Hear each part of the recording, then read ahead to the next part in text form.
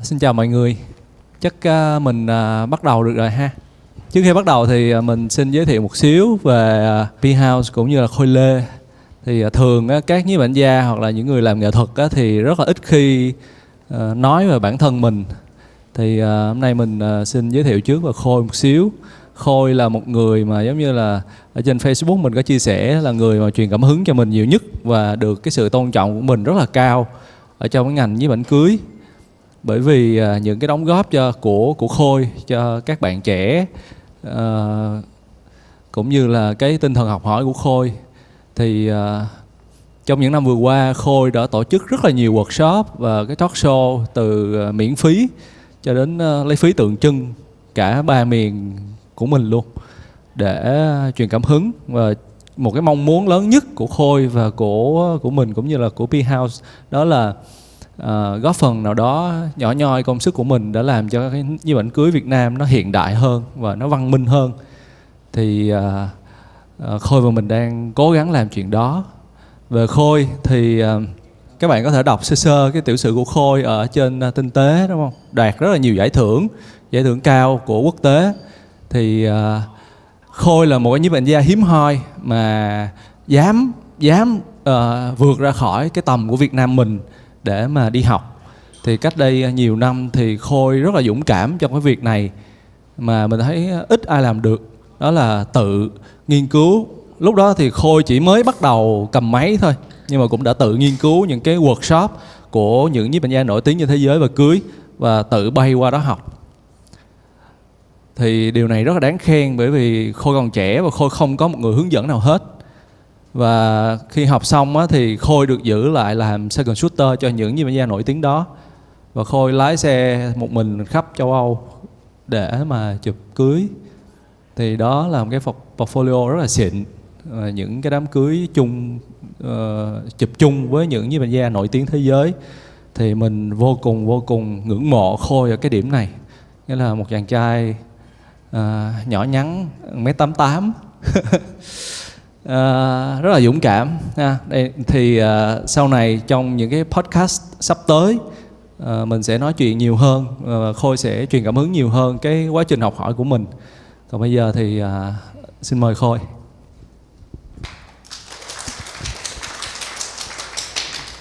À, cảm ơn anh Louis đã dành những cái lời rất là có cánh cho em và xin chào tất cả mọi người. Mình rất vui vì hôm nay được đứng đây chia sẻ. Thì thật ra là uh, mình đã làm rất là nhiều workshop rồi. Uh, cho mình hỏi là ở đây có ai từng nghe một cái talk show hay là một cái workshop gì của mình chưa ạ? Có ai từng đi tham dự? Ồ mới có một người thôi. Ok vậy đây là những người mới hoàn toàn. Ok uh, ok ở đây có ai là người làm nghề chụp ảnh cưới không ạ? Một hai. Ok vậy, uh, vậy thì uh, những người còn lại làm kiểu uh, cho mình hỏi chút xíu là tại sao mọi người lại quan tâm tới cái chủ đề này? Tại vì cái chủ đề này thật sự nó hơi nó hơi thiên dành nó hơi dành cho những người mà đang làm dịch vụ đang làm cái nghề mà chụp ảnh cưới nhiều hơn là uh, những cái gì đó nó nó nó bình thường những cái chủ đề bình thường. Thì uh, có ai có thể chia sẻ với mình là tại sao mọi người lại đến tham dự hôm nay mà để mình biết có thể mình sẽ lèo lái cái cái cái cái cái buổi chia sẻ này nó theo đúng cái cái mong muốn của mọi người nhiều hơn? Tại vì cái phần thật ra cái phần mà mà mà mình chia sẻ mình đã chuẩn bị hết rồi nhưng mà nó có thể nó hơi thiên về bên cái cái cái dịch vụ chút xíu thì mọi người ở đây có thể chia sẻ cho mình là à, tại sao mọi người lại quan tâm tới cái workshop này và mọi người đến đây tham dự mà em thấy anh cười nhiều lắm nè. Anh trả lời thử giùm em nhé. Rồi, cảm ơn khôi thì uh, anh coi cái uh, cái cái event mà tổ chức của tinh tế đó thì thực sự là những cái ảnh của em về cưới rất là ấn tượng. Và anh thì thực sự là cầm máy từ cái thời anh làm du lịch cũng năm chín mấy. Rồi sau đó rồi cũng chùm maker cái chiếc X700 Minolta rồi sau đó rồi cái đam mê nhiếp ảnh nó lớn dần lên rồi cũng chụp cưới cho ông anh, rồi bắt bạn bè này kia cái. Rồi chụp về phong cảnh, về các trải nghiệm về street life các kiểu. Rồi cũng dự ờ, những cái workshop của anh Hà Photo, rồi những anh em mà cụ trào ở trong ngành nhiếp ảnh để mình học hỏi thêm thì cái cái nhiếp ảnh cưới nó rất là thú vị. Tại vì anh cũng muốn trải nghiệm cái góc chụp khác và nó giống như là của khôi đã đã, đã show ra với các anh em á. Là một cái góc hoàn toàn anh thấy là rất là rất là phê. Bởi vì nó nó tả thực và nó nó nó rất là thoải mái và tự nhiên. Nó không có gò bó vào cái kiểu truyền thống của mình. Nên thực sự là anh rất là thoải mái khi mà tiếp cận được một cái cái góc chụp của tụi em tuyệt vời như vậy. Thì khi anh đi qua Boston ở Mỹ thì khi mà anh chụp với cái phong cảnh mà những cái cảnh quan về con người của anh thì mình thực sự là nó nó khoáng đạt thông nó mở cho mình cái cái cái cái một cái concept hoàn toàn khác. Nhưng mà đối với khôi thì chụp những cảnh mà, mà tiệc này kia events này kia cô dâu chú rể thì thực sự là anh ấn tượng. Ấn tượng nhất là cái bà mẹ mà ngồi ờ, và cười khi mà con gái ngồi trong xe và ông bố thì ngậm ngùi. Thì cái thực sự là cái tấm đó rất ấn tượng đối với anh. Thì anh rất cảm ơn và và khôi đã có mặt ngày hôm nay chia sẻ với anh với các bạn ở đây. Thì rất là trân trọng. Cảm ơn khôi dạ, em cảm ơn anh. À, thật sự thì ờ, em nghe anh nói em nổi da gà. Em là người rất là nhạy cảm nên là mỗi lần mà thứ em hay nổi da gà lắm. Ờ, à, thực sự cái tấm mà anh nói mà anh thích đó là một cái tấm mà em chụp một cái đám cưới của một cặp đôi ở Đài Loan. Đám cưới em chụp ở Đài Loan và đó là lần đầu tiên mà em em tham gia một cái workshop uh, của hai nhiếp ảnh gia lúc đó là top 2 thế giới là Two Man với uh, Two Man Studio. Thì lần đó em bay qua bên Canada em học. Em vừa học xong là ba ngày sau à, em bay về Việt Nam xong em bay tiếp qua Đài Loan em chụp. Thì cái đám cưới đó là đám cưới đầu tiên em chụp mà sau khi em tiếp cận được một cái kiến thức mới những cái gì đó rất là mới. Thì cái tấm đó cũng là cái tấm đầu tiên mà em đoạt được cái giải nó gọi là Phyllis Award. Thì Phyllis Photographer là một cái tổ chức uh, ảnh cưới dành cho các cái nhiếp ảnh gia cưới trên toàn thế giới. Thì thật sự lúc mà em tham gia cái nhiếp ảnh cái hiệp hội đó thì từ lúc em bắt đầu em chụp hình đó là em đã biết các hiệp hội đó rồi và khi em tham gia vô đó em chỉ ước mong là có một ngày nào đó em đạt được cái giải thưởng à, của cái của cái hiệp hội đó thôi tại vì em xem hình cho nó rất là thích. Thì cái tấm đó là cái tấm đầu tiên mà em đạt được cái giải thưởng đó. Rồi sau này em tức là em đạt cái giải thưởng đó em cũng mừng em hú hét như đứa đứa trẻ vậy đó. Nhưng mà thật sự thì cái tấm đó may là anh có đồng cảm tại vì có nhiều người họ xem họ họ không cảm được. Rất nhiều cô dâu chú rể của em họ xem họ không cảm được nhưng mà rất là vui vì anh đã chia sẻ rất là chân thành như vậy. Dạ em cảm ơn anh. Ok dạ em mời à, anh áo xanh. Áo xanh nãy có giơ tay đúng không ạ? Đúng không? Anh anh anh có à, dạ quên. À, chào ờ, anh kho và tất cả các à, anh chị có mặt chương trình hôm nay. Thật sự là mình cũng không phải là ờ, ảnh cưới hay là bất kỳ chuyên nghiệp hết. Nói chung mà tại vì đi đầu tiên thì mình muốn uh, chắc ảnh cưới chắc chắn là mình nghĩ rằng uh, khôi là rất là giỏi về khía cạnh chụp abcd đó ý mình muốn nói mình muốn ờ, tới mình coi để mình áp dụng vô cuộc sống đời thường mình đó để mình chụp đó cho đẹp thôi. Chứ mình cũng không không có là chuyên nghiệp hay là cái gì à, giống như những bạn khác. Mình muốn để mình học hỏi cái những góc cạnh đó từ khôi chia sẻ thêm rộng ra để mọi người hãy tự tin cầm điện thoại để cầm bất kỳ cái ảnh chụp cho gia đình mình chụp cho người thân mình. Đó là mình muốn học. Cảm ơn khôi và các anh chị. Dạ rồi em cảm ơn anh. À, thật sự luôn là cái chuyện mà áp dụng những cái thứ mà trong chụp hình cưới này và áp dụng vào cái việc là chụp ảnh người thân chụp ảnh gia đình nọ thứ thì trên thế giới người ta đã làm rất là lâu rồi và người ta có một cái ngành nó gọi là family documentary là chụp ảnh phóng sự gia đình. Và thật sự là em cũng là người gần như là người đầu tiên ở Việt Nam chụp thử mấy cái đó. Nhưng mà cái đó khá là khó tại vì khó là khó lấy được lòng tin của khách hàng, khó làm sao để cho người ta chịu bỏ tiền ra bút mình đi chụp. Tại vì chụp cái gọi là family documentary đó đó, mọi người hình dung như vậy nè, là em sẽ tới nhà người ta, thậm chí là tới từ cái hôm trước đó luôn và em xin ngủ lại nhà người ta. Và hôm sau khi mà vừa mới mở mắt ra, người ta làm cái gì là em bắt đầu em chụp. Và em sẽ follow người ta suốt một cái ngày như vậy. Có nghĩa là mình sẽ chụp lại một cái sinh hoạt rất là đời thường của một cái người bình thường giống như có thể là một cái ngày cuối tuần của cặp đôi đó, người ta sẽ làm cái gì. Những cái đó thực sự có những cái khoảnh khắc nó trải qua trong cuộc sống của mình. Sau này tự nhiên mình ngồi mình nhớ lại. Ví dụ như, đặc biệt là những người mà có con nhỏ, nó sẽ có những cái khoảnh khắc mà mình rất là muốn nhớ lại, mình muốn, nó muốn có một cái khoảnh, một cái người nào đó chụp lại một cái khoảnh khắc trong cái đời sống hàng ngày để sau này 5 năm 10 năm nữa khi mà bắt đầu trí nhớ mình nó nó nó nó, nó phai dần đi rồi mình xem lại cái đó mình có thể nhớ lại là à ngày xưa ở cái thời điểm đó lúc con mình bao nhiêu tuổi đó mình đã có một cái ngày sinh hoạt nó như thế nào. Thậm chí là mình xem những tấm hình đó mình có thể cảm lại được cái cảm xúc của mình trong cái lúc cái thời điểm đó luôn. Thì đó là cái mục đích lớn nhất của cái cái cái family documentary. Nó không giống như mọi người hay nghĩ ở Việt Nam đó là uh, bút chụp ảnh gia đình là sẽ tới đó xong rồi ăn mặc thiệt đẹp vô xong rồi vô chụp một tấm hình lưu niệm. À cái đó thì là khác, cái đó thì gọi là ảnh chân dung gia đình. Nó khác. Còn cái ảnh mà mà phóng sự gia đình có nghĩa là mình tới đó mình chụp lại những sinh hoạt hàng ngày, một cái sinh hoạt đời thường hàng ngày. Thì nếu như mà mà mà anh có quan tâm, anh có thể vô cái facebook của em á. Em có ba bộ ảnh em làm trong cái dự án riêng của em, đó là em chụp ảnh sinh hoạt đời thường của những cái đứa trẻ mà nó không có được may mắn. Những đứa trẻ nó mắc cái hội chứng đau. Thì một ngày như vậy nó diễn ra như thế nào? Thì em đã từng chụp được ba bộ. Thì ờ, sắp tới đây em cũng có một cái talk show em tham gia một cái talk show của cái diễn đàn ờ, newborn và ảnh family. Thì em sẽ chia sẻ về cái vấn đề này sâu hơn. Còn hôm nay thì ok quay lại chủ đề này thì hôm nay em sẽ chia sẻ tất cả những cái liên quan tới là ảnh cưới đặc biệt là ảnh phóng sự cưới ha. Rồi thì uh, giống như trong uh, giới thiệu trong cái bài giới thiệu của anh Louis của của tinh tế thì em sẽ chia sẻ thứ nhất là về cái nguồn gốc của cái ảnh phóng sự cưới có thể là mọi người ở đây không làm ngành cưới nhưng mọi người đã nghe rất là nhiều. Đặc biệt là những cái trào lưu hiện tại gần đây rất là nhiều người nhắc tới cái chữ là chụp ảnh phóng sự cưới. Phóng sự cưới ai cũng là tới đám cưới là à, em muốn chụp theo phong cách phóng sự. À, có người thì lại muốn là chụp theo phong cách uh, chia ra là phóng sự với truyền thống. Thì phóng sự là gì mà truyền thống là gì?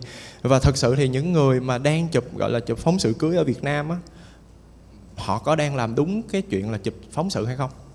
Thì ok hôm nay em sẽ có những cái chia sẻ mà có thể nó nó nó đem tới cho mọi người những cái góc nhìn nó nó mới hơn nó khác đi một chút xíu ha. Tại vì uh, khá là buồn là ở Việt Nam có những cái thứ nó sai nhưng mà nó lặp đi lặp lại và nó được nhiều người nói cái tự nhiên nó thành đúng. Thì thành ra khi mà mình làm cái gì đó nó khác đi thì nhiều khi mình lại trở thành quá khác biệt rồi khó được chấp nhận nhưng mà em vẫn rất là tự tin thực sự thì okay, em cũng đã làm và đi theo cái hướng này tới bây giờ cũng được 9 năm rồi. Em làm theo dạng gọi là freelance freelance photographer uh, destination wedding photographer nghĩa là mình chụp và mình ờ, đi theo đúng cái hướng mà mình theo đuổi ngay từ khi mình bắt đầu cho tới bây giờ ha. Và mình cũng đã tham gia tới bây giờ hơn 20 cái workshop về ảnh cưới trên toàn thế giới luôn của các cái photographer trên toàn thế giới thì mình đi tham gia mình học mình học nhiều cái khía cạnh nhiều cái góc nhìn khác nhau. Và sau đó về mình áp dụng vào cái đám cưới ở Việt Nam ha. Thì ờ, ok hôm nay mình sẽ chia sẻ thứ nhất là về cái nguồn gốc của cái chữ ảnh phóng sự cưới thật sự nó là như thế nào. Ha thì uh, ở trong cái bài của giảng của mình nó sẽ có một số chữ là nó tiếng Anh thôi nhưng mà hy vọng là mọi người sẽ sẽ sẽ nắm sẽ sẽ sẽ hiểu ha. Rồi mình nói đơn giản thôi. Thứ nhất là cái quá trình hình thành cái việc là chụp ảnh cưới thật ra nó phát triển nó đã xuất hiện từ rất rất là lâu rồi. Thậm chí là từ khi mà con người ta phát minh ra cái máy ảnh á, là người ta đã có cái nhu cầu gọi là chụp cái hình lưu niệm lúc đám cưới rồi. Ha. thì ngày xưa là những cái tấm ảnh cưới ngày xưa mọi người sẽ thấy là nó chỉ là những kiểu như vậy thôi. Tại vì sao? Tại vì ngày xưa cái máy ảnh nó rất là cồng kềnh rất là bự và để chụp được một tấm hình nhiều khi phải cần ánh sáng rồi cần setup nhỏ rất là kỹ. Thành ra là hầu như ngày xưa là người ta chỉ chụp một cái tấm ảnh trước cái ngày cưới người ta sẽ chụp một tấm ảnh, hoặc là trong cái đám cưới đó sẽ có ông thợ tới, cô dâu chú rể mặc đồ xong chụp bắt một tấm xong. Thì ngày xưa từ năm, từ lúc mà cái máy ảnh nó phát minh ra cho tới cuối những năm mà 1940 luôn á, hầu như ảnh cưới, nhắc tới ảnh cưới là chỉ là những tấm hình như vậy thôi. Ha. Thì à, cái điểm khác biệt sau này là từ những năm 1940 trở đi á, là khi mà cái máy, cái nhiếp ảnh nó phát triển, cái cái cái cái cái kỹ thuật cái máy móc này nó phát triển từ cái máy to như vậy. Dần dần dần dần dần người ta thu hẹp, thu nhỏ lại và nó thành một cái máy phim, một cái máy cái máy khổ 35 máy, cái cái máy chụp ảnh, càng ngày nó càng bé lại ha. Thì khi đó cái việc là những cái người mà người ta cầm được cái máy ảnh, người ta vô cái đám cưới, người ta chụp, nó trở nên dễ dàng hơn. Nó trở nên dễ dàng hơn. Nó không phải chỉ là lúc này bắt đầu nó xuất hiện thêm những cái tấm ảnh, gọi là, chụp ở trong đám cưới đây vẫn có thể là những cái tấm hình mà uh, cô dâu chú rể đang nhìn thẳng vào ống kính mà kiểu người ta làm dáng người ta biết là sẽ có người chụp hình thì người ta sẽ chụp. Đó đây là những cái tấm hình gọi là giống như là hình lưu niệm được chụp trong đám cưới. Thì tới bây giờ vẫn còn những tấm hình này những tấm hình mà mình hay gọi nôm na là ảnh truyền thống á là cô dâu chú rể hoặc là những người mà người ta biết là có người đang chụp hình cho mình.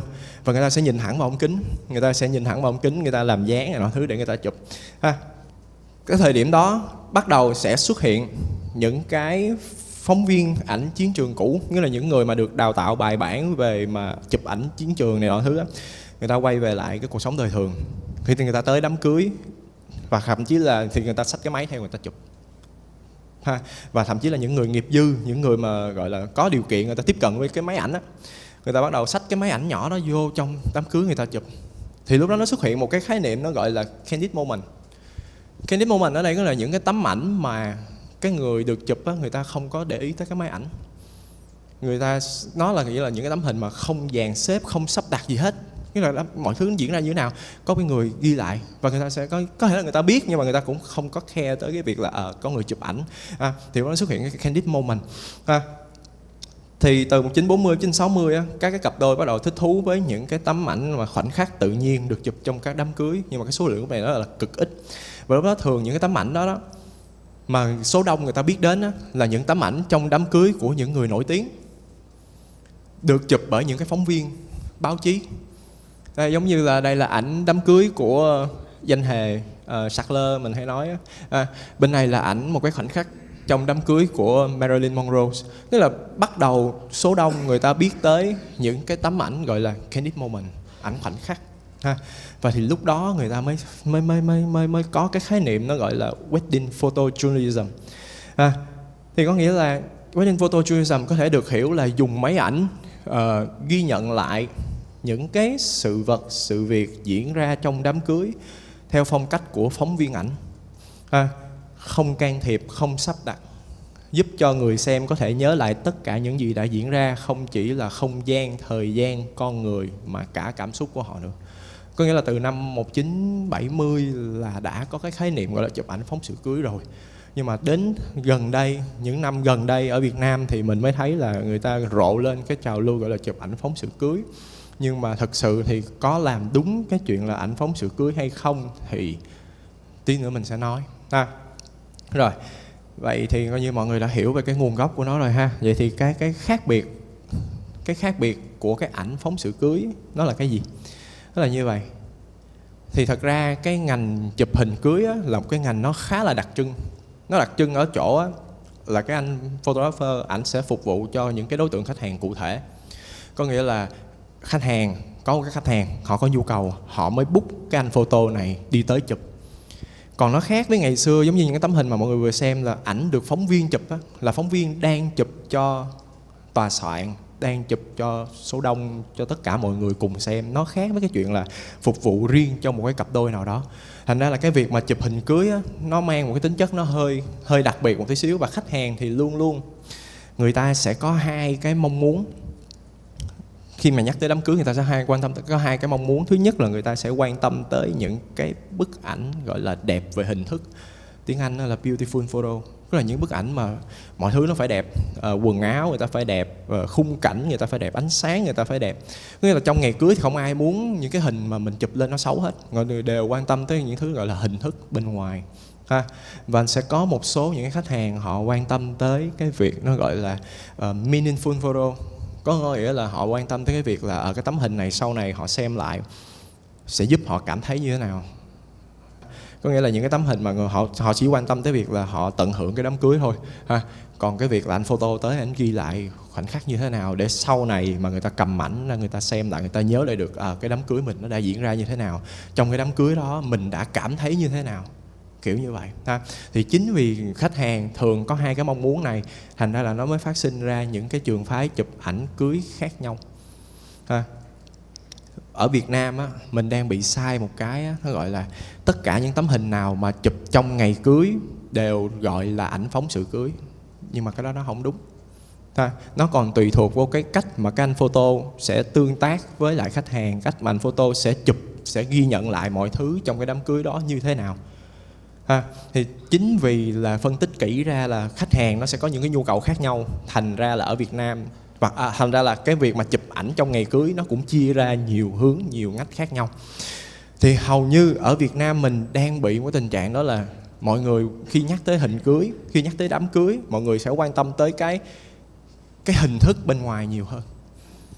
Họ luôn muốn là đám cưới mình là phải hoàn hảo. Đó là lý do tại sao có rất nhiều cô dâu chú rể người ta sẵn sàng bỏ ra rất là nhiều tiền để đề co đám cưới rất là đẹp để mặc lên mình những chiếc váy rất là đắt tiền. Và đó là tại sao đó là người ta đang quan tâm tới cái chuyện là người khác nhìn thấy mình trong đám cưới như thế nào. Người ta muốn cái đám cưới người ta xuất hiện những cái tấm hình đám cưới nó phải thật là hoàn hảo. À, có nghĩa là người ta đang quan tâm tới hình thức nhiều hơn. Chứ người ta không nghĩ tới cái chuyện sâu xa lâu dài là à những cái tấm hình này sau này mình xem lại mình sẽ cảm thấy như thế nào. Cái cảm xúc của mình trong ngày cưới nó sẽ như thế nào. Mà họ chỉ quan tâm tới là mình xuất hiện như thế nào trong đám cưới? Uh, quan viên bà con tới bạn bè tới sẽ trầm trồ như thế nào trong ngày cưới? Thành ra là họ sẵn sàng họ bỏ rất là nhiều tiền để đầu tư vào những cái mà váy rồi make up rồi trang trí đề co nhưng mà tới cái phần mà chụp hình thì đôi khi họ lại thắt chặt cái chi tiêu lại. Họ nghĩ là ok ai cũng sẽ chụp được hình trong ngày cưới mà ai cũng sẽ chụp được. Thành ra là những cái anh nào mà chụp trong ngày cưới mà nó càng ảo nó càng lung linh nó càng lộng lẫy thì nhiều khi những anh đó lại càng đắt khách. Nhưng mà ra đó đó là đúng đó là đó vẫn là phục vụ cho khách hàng nó vẫn không có gì sai hết. Nghĩa là nó đang phục vụ cho những cái đối tượng khách hàng mà họ quan tâm tới hình thức họ thích là họ phải đẹp. À, thì chính vì đó thì nó sẽ nó sinh ra một cái phong cách nó gọi là portrait in wedding day hoặc là wedding documentary, ha. Còn mà cái phong cách bên này khi mà người ta chỉ muốn quan tâm tới cái chuyện là người ta tận hưởng cái đám cưới và cái anh kia, anh tới anh ghi lại hình như thế nào, người ta không quan tâm, người ta muốn là sau này người ta xem lại, người ta sẽ cảm thấy thích thú, người ta sẽ nhớ lại được họ đã như thế nào trong cái đám cưới của mình, ha. Rồi, vậy thì mình sẽ giới thiệu sơ sơ cái phong cách, những cái phong cách chụp khác nhau trong ngày cưới, ha. Mình không gọi nó là chữ phóng sự cưới, tại vì ở Việt Nam mình nó nó có nó, nó có ba cái cách chụp trong ngày cưới. Nhưng mà ở Việt Nam mình thì chỉ phân ra là chụp truyền thống với chụp phóng sự. Họ không có dịch sát nghĩa những cái những cái những cái chữ tiếng Anh. Thành ra là họ chỉ biết là ok chụp truyền thống và chụp phóng sự. Nhưng mà những cái anh mà dùng cái chữ chụp phóng sự chưa chắc là mấy ảnh đã làm đúng cái chuyện là chụp phóng sự. À, rồi ok thì cái phong cách thứ nhất là phong cách là portrait in wedding day ha. Thì mình có thể gọi tiếng việt là ảnh chân dung trong ngày cưới thì nó sẽ đúng hơn với cái chuyện là chụp ảnh phóng sự ngày cưới. Ha thì có nghĩa là cái đám cưới của bạn cái cái quan điểm của cái người chụp hình đó, và của cả khách hàng những cái phong cách này người ta quan điểm như vậy. Có thể đám cưới của bạn nó không hoàn hảo về đề co về khách mời à, có thể là cái địa điểm tổ chức nó không được đẹp à, cái váy của bạn cũng không phải là đắt tiền. Nhưng mà khi mà bạn bút những cái anh photo này nè mà anh sẽ đảm bảo cái chuyện là anh chụp cho các bạn bộ hình nó hoàn hảo mọi thứ nó hoàn hảo. Thì những anh này sẽ không ngại ngần gọi là sắp đặt hết mọi thứ là treo cái váy lên ở chỗ này kịp hoặc là đánh thêm ánh sáng vô để làm cho cái váy nó lung linh. Thậm chí là đạo diễn một vài những cái tình huống mà mọi người thường thấy. Ví dụ là mọi người sẽ thấy là nhắc tới ảnh phóng sự cưới có thể là các bạn đã xem qua bộ ảnh của bạn bè hay là của ai đó các bạn sẽ thấy một cái mô típ rất là quen thuộc đó là luôn luôn có những tấm là uh, cô dâu treo cái váy lên xong cô dâu tới đứng sờ sờ cái váy dịnh dịnh cái váy cười cười hoặc là cô dâu giả bộ ờ, tới ờ, sửa soạn cái ờ, cái bộ cái cái cái bàn gia tiên cô dâu giả bộ tới sửa soạn cười cười. Hoặc là cô dâu make up xong xuôi hết rồi giả bộ ngồi cười cho một cái bạn make up giả bộ cầm cái cọ chỉ vô mặt. Hoặc là kêu uh, chú rể hình như hầu như tấm nào cũng sẽ có một tấm là chú rể đứng kế bên cái uh, cửa sổ xong rồi coi đồng hồ chỉnh ra vát. Và cái đó là những cái mô tiếp mà các bạn sẽ thấy lặp đi lặp lại lặp đi lặp lại. Hầu như cái đám cưới nào nó cũng sẽ có những cái tấm na ná như vậy. Đó là sao? Đó là do cái người cái người mà chụp ảnh mà gọi là phóng sự đó, mà họ làm sai. Không phải là họ làm sai mà là họ làm làm theo cái phong cách này. Có nghĩa là họ sẽ không ngần ngại sắp đặt để đảm bảo là ok cái bộ hình nó phải được hoàn hảo. À, thì um, những cái nhiếp ảnh gia này sẽ chú trọng vào việc là chụp những cái tấm hình detail chụp những tấm hình sắp đặt. À, và họ sẽ không có quan tâm lắm tới cái việc là bắt khoảnh khắc trong ngày cưới hoặc là quan tâm tới cái việc là chụp được những tấm hình nó giàu cảm xúc chụp được cái cảm xúc của bạn trong ngày cưới họ sẽ không quan tâm tới chuyện đó. Họ chỉ quan tâm tới là làm sao nó đẹp ta à, và nếu như các bạn thích cái phong cách này thì các bạn có thể search thử tên của một vài nhiếp ảnh gia nổi tiếng giống như là Jerry Gionic thì ông này giờ không hết chụp rồi nhưng mà ông là nhiếp ảnh gia gọi là kỳ cụ trong cái ngành cưới luôn ông chụp hai mươi mấy năm rồi ha. Thì có những cái tấm hình đó là các bạn nhìn vô các bạn sẽ không nghĩ là hình sắp đặt nó hoàn hảo hết tất cả mọi thứ, là về về ánh sáng, về khoảnh khắc, về này nọ mọi thứ. Nhưng thật ra là hình sắp đặt. Có nghĩa là ông này ông giỏi tới mức là ông direct được tất cả mọi người. Anh này vô đây làm này, hai người này sẽ ngồi đây, sẽ làm này làm này làm này làm này để bấm phát ra tấm hình. Nhìn nhìn nó rất là giống mô mình. Nhưng mà thật ra là hình sắp đặt.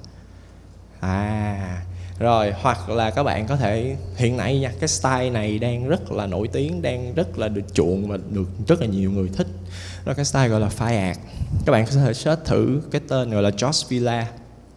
À, thì anh này ảnh chụp là hình như là ảnh chụp 100% là bằng uh, máy phim. Không biết hôm nay có chụp máy số hay không nhưng ngày xưa là ảnh chụp bằng máy phim. Máy phim medium format luôn. Thì cái hình của ảnh á các bạn nhìn vô bạn sẽ không thể nào chê xấu được tại vì nó rất là đẹp nó rất là bắt mắt. Nó nó nịnh mắt lắm ánh sáng rồi lúc nào nó cũng gọi là nó nó dreamy nó nó nó hơi mơ mộng nó gọi là airy á. Nó hơi ờ, thần tiên mọi thứ lúc nào nó cũng sáng sáng sáng này những tấm hình này. Và nó rất là đẹp.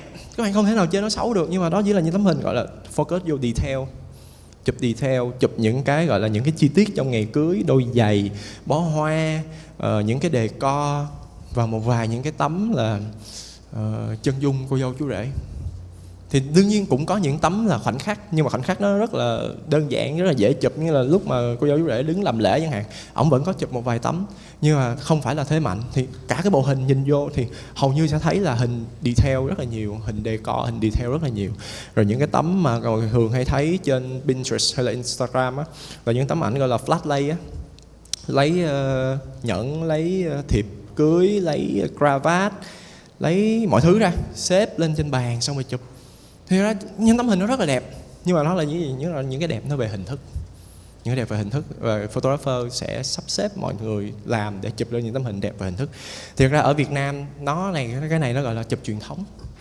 Ở Việt Nam mình ta đã làm rất là lâu rồi, từ hồi xưa, từ thời đám cưới bố mẹ mình là đã có như vậy rồi. Là cái anh thợ chụp hình khi mà tới lúc nào anh cũng sẽ qua trong trong đầu anh là anh phải sắp đặt người này người kia làm cái gì? À, cô chú ờ, mở cái ờ, cái mâm quả ra giữ lại chút xíu cười cái hay là uh, đóng cái quả lại rồi trao quả cho người này người kia phải giữ lại chút xíu để cười.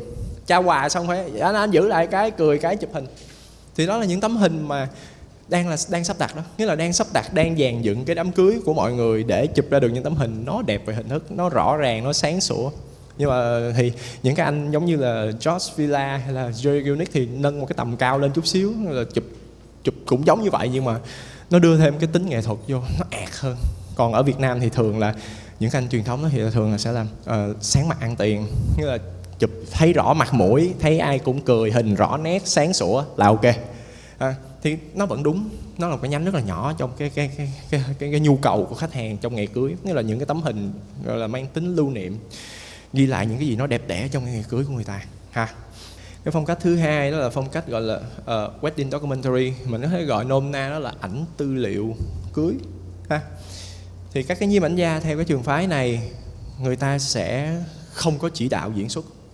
Người ta không chỉ đạo diễn xuất tức là người ta sẽ không có kêu người mình phải làm này làm cái kia ha.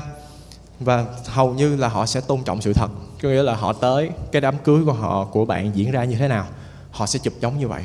Nhưng mà họ sẽ chụp thêm một số thứ họ có thể can thiệp gọi là can thiệp một cách tối thiểu vào cái đám cưới của bạn can thiệp ở cái mức độ như vậy nè. Ví dụ như người ta tới người ta chụp cái nhà của bạn nhà của bạn cô dâu đang ngồi make up thì cái ảnh cái anh mà đi theo cái style này á thì anh sẽ trung hòa giữa cái chuyện là sắp đặt với là cái chuyện là có tấm hình nó đẹp.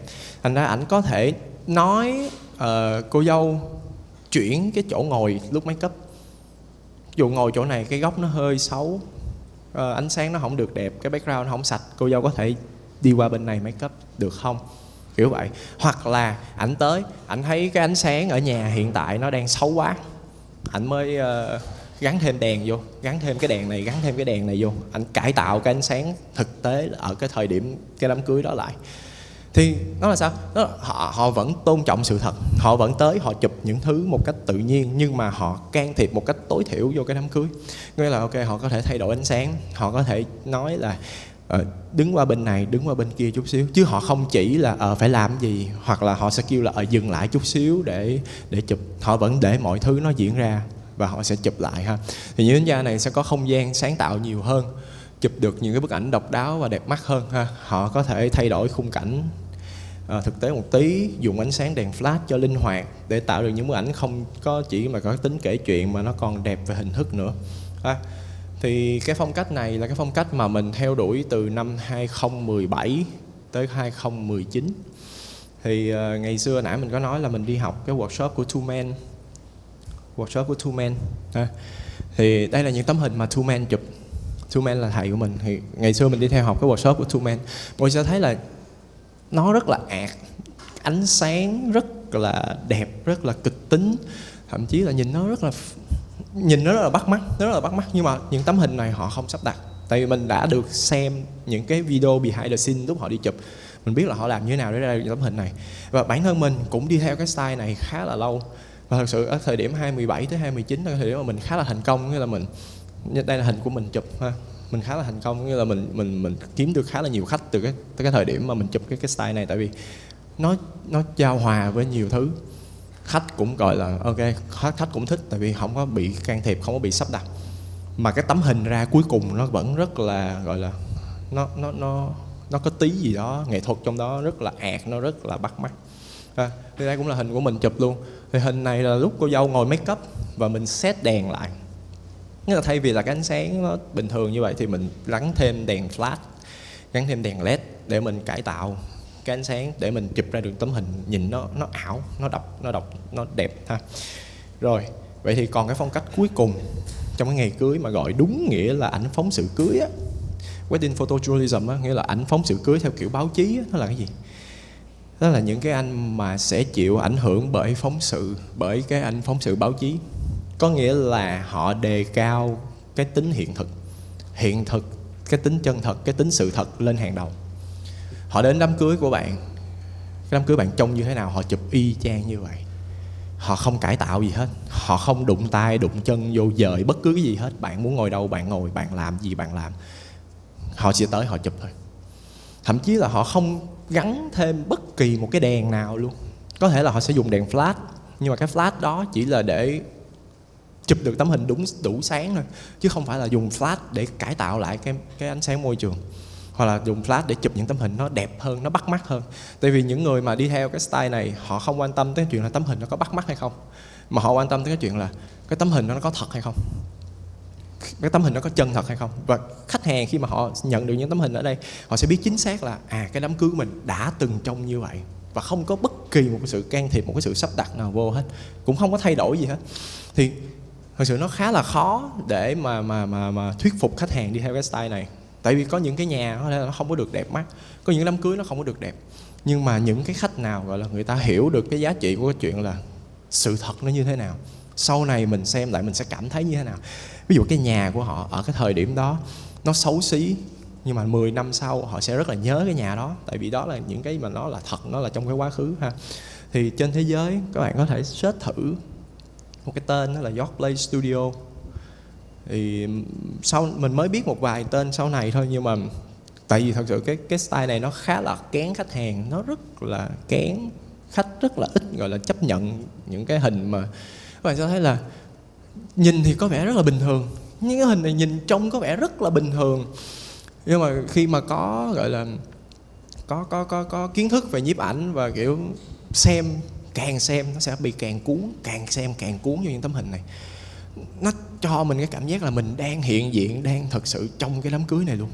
Và những cái ánh sáng nó, nó như nào là họ chụp như vậy họ không thêm bất kỳ một cái gì vô hết. Và họ quan sát những cái thứ rất là hay ho trong đám cưới để họ chụp. À, thì thật sự mình cũng đang đi tới hiện điểm hiện tại mình đang cũng đáng đi theo cái style này. Và đây là tấm hình mình chụp.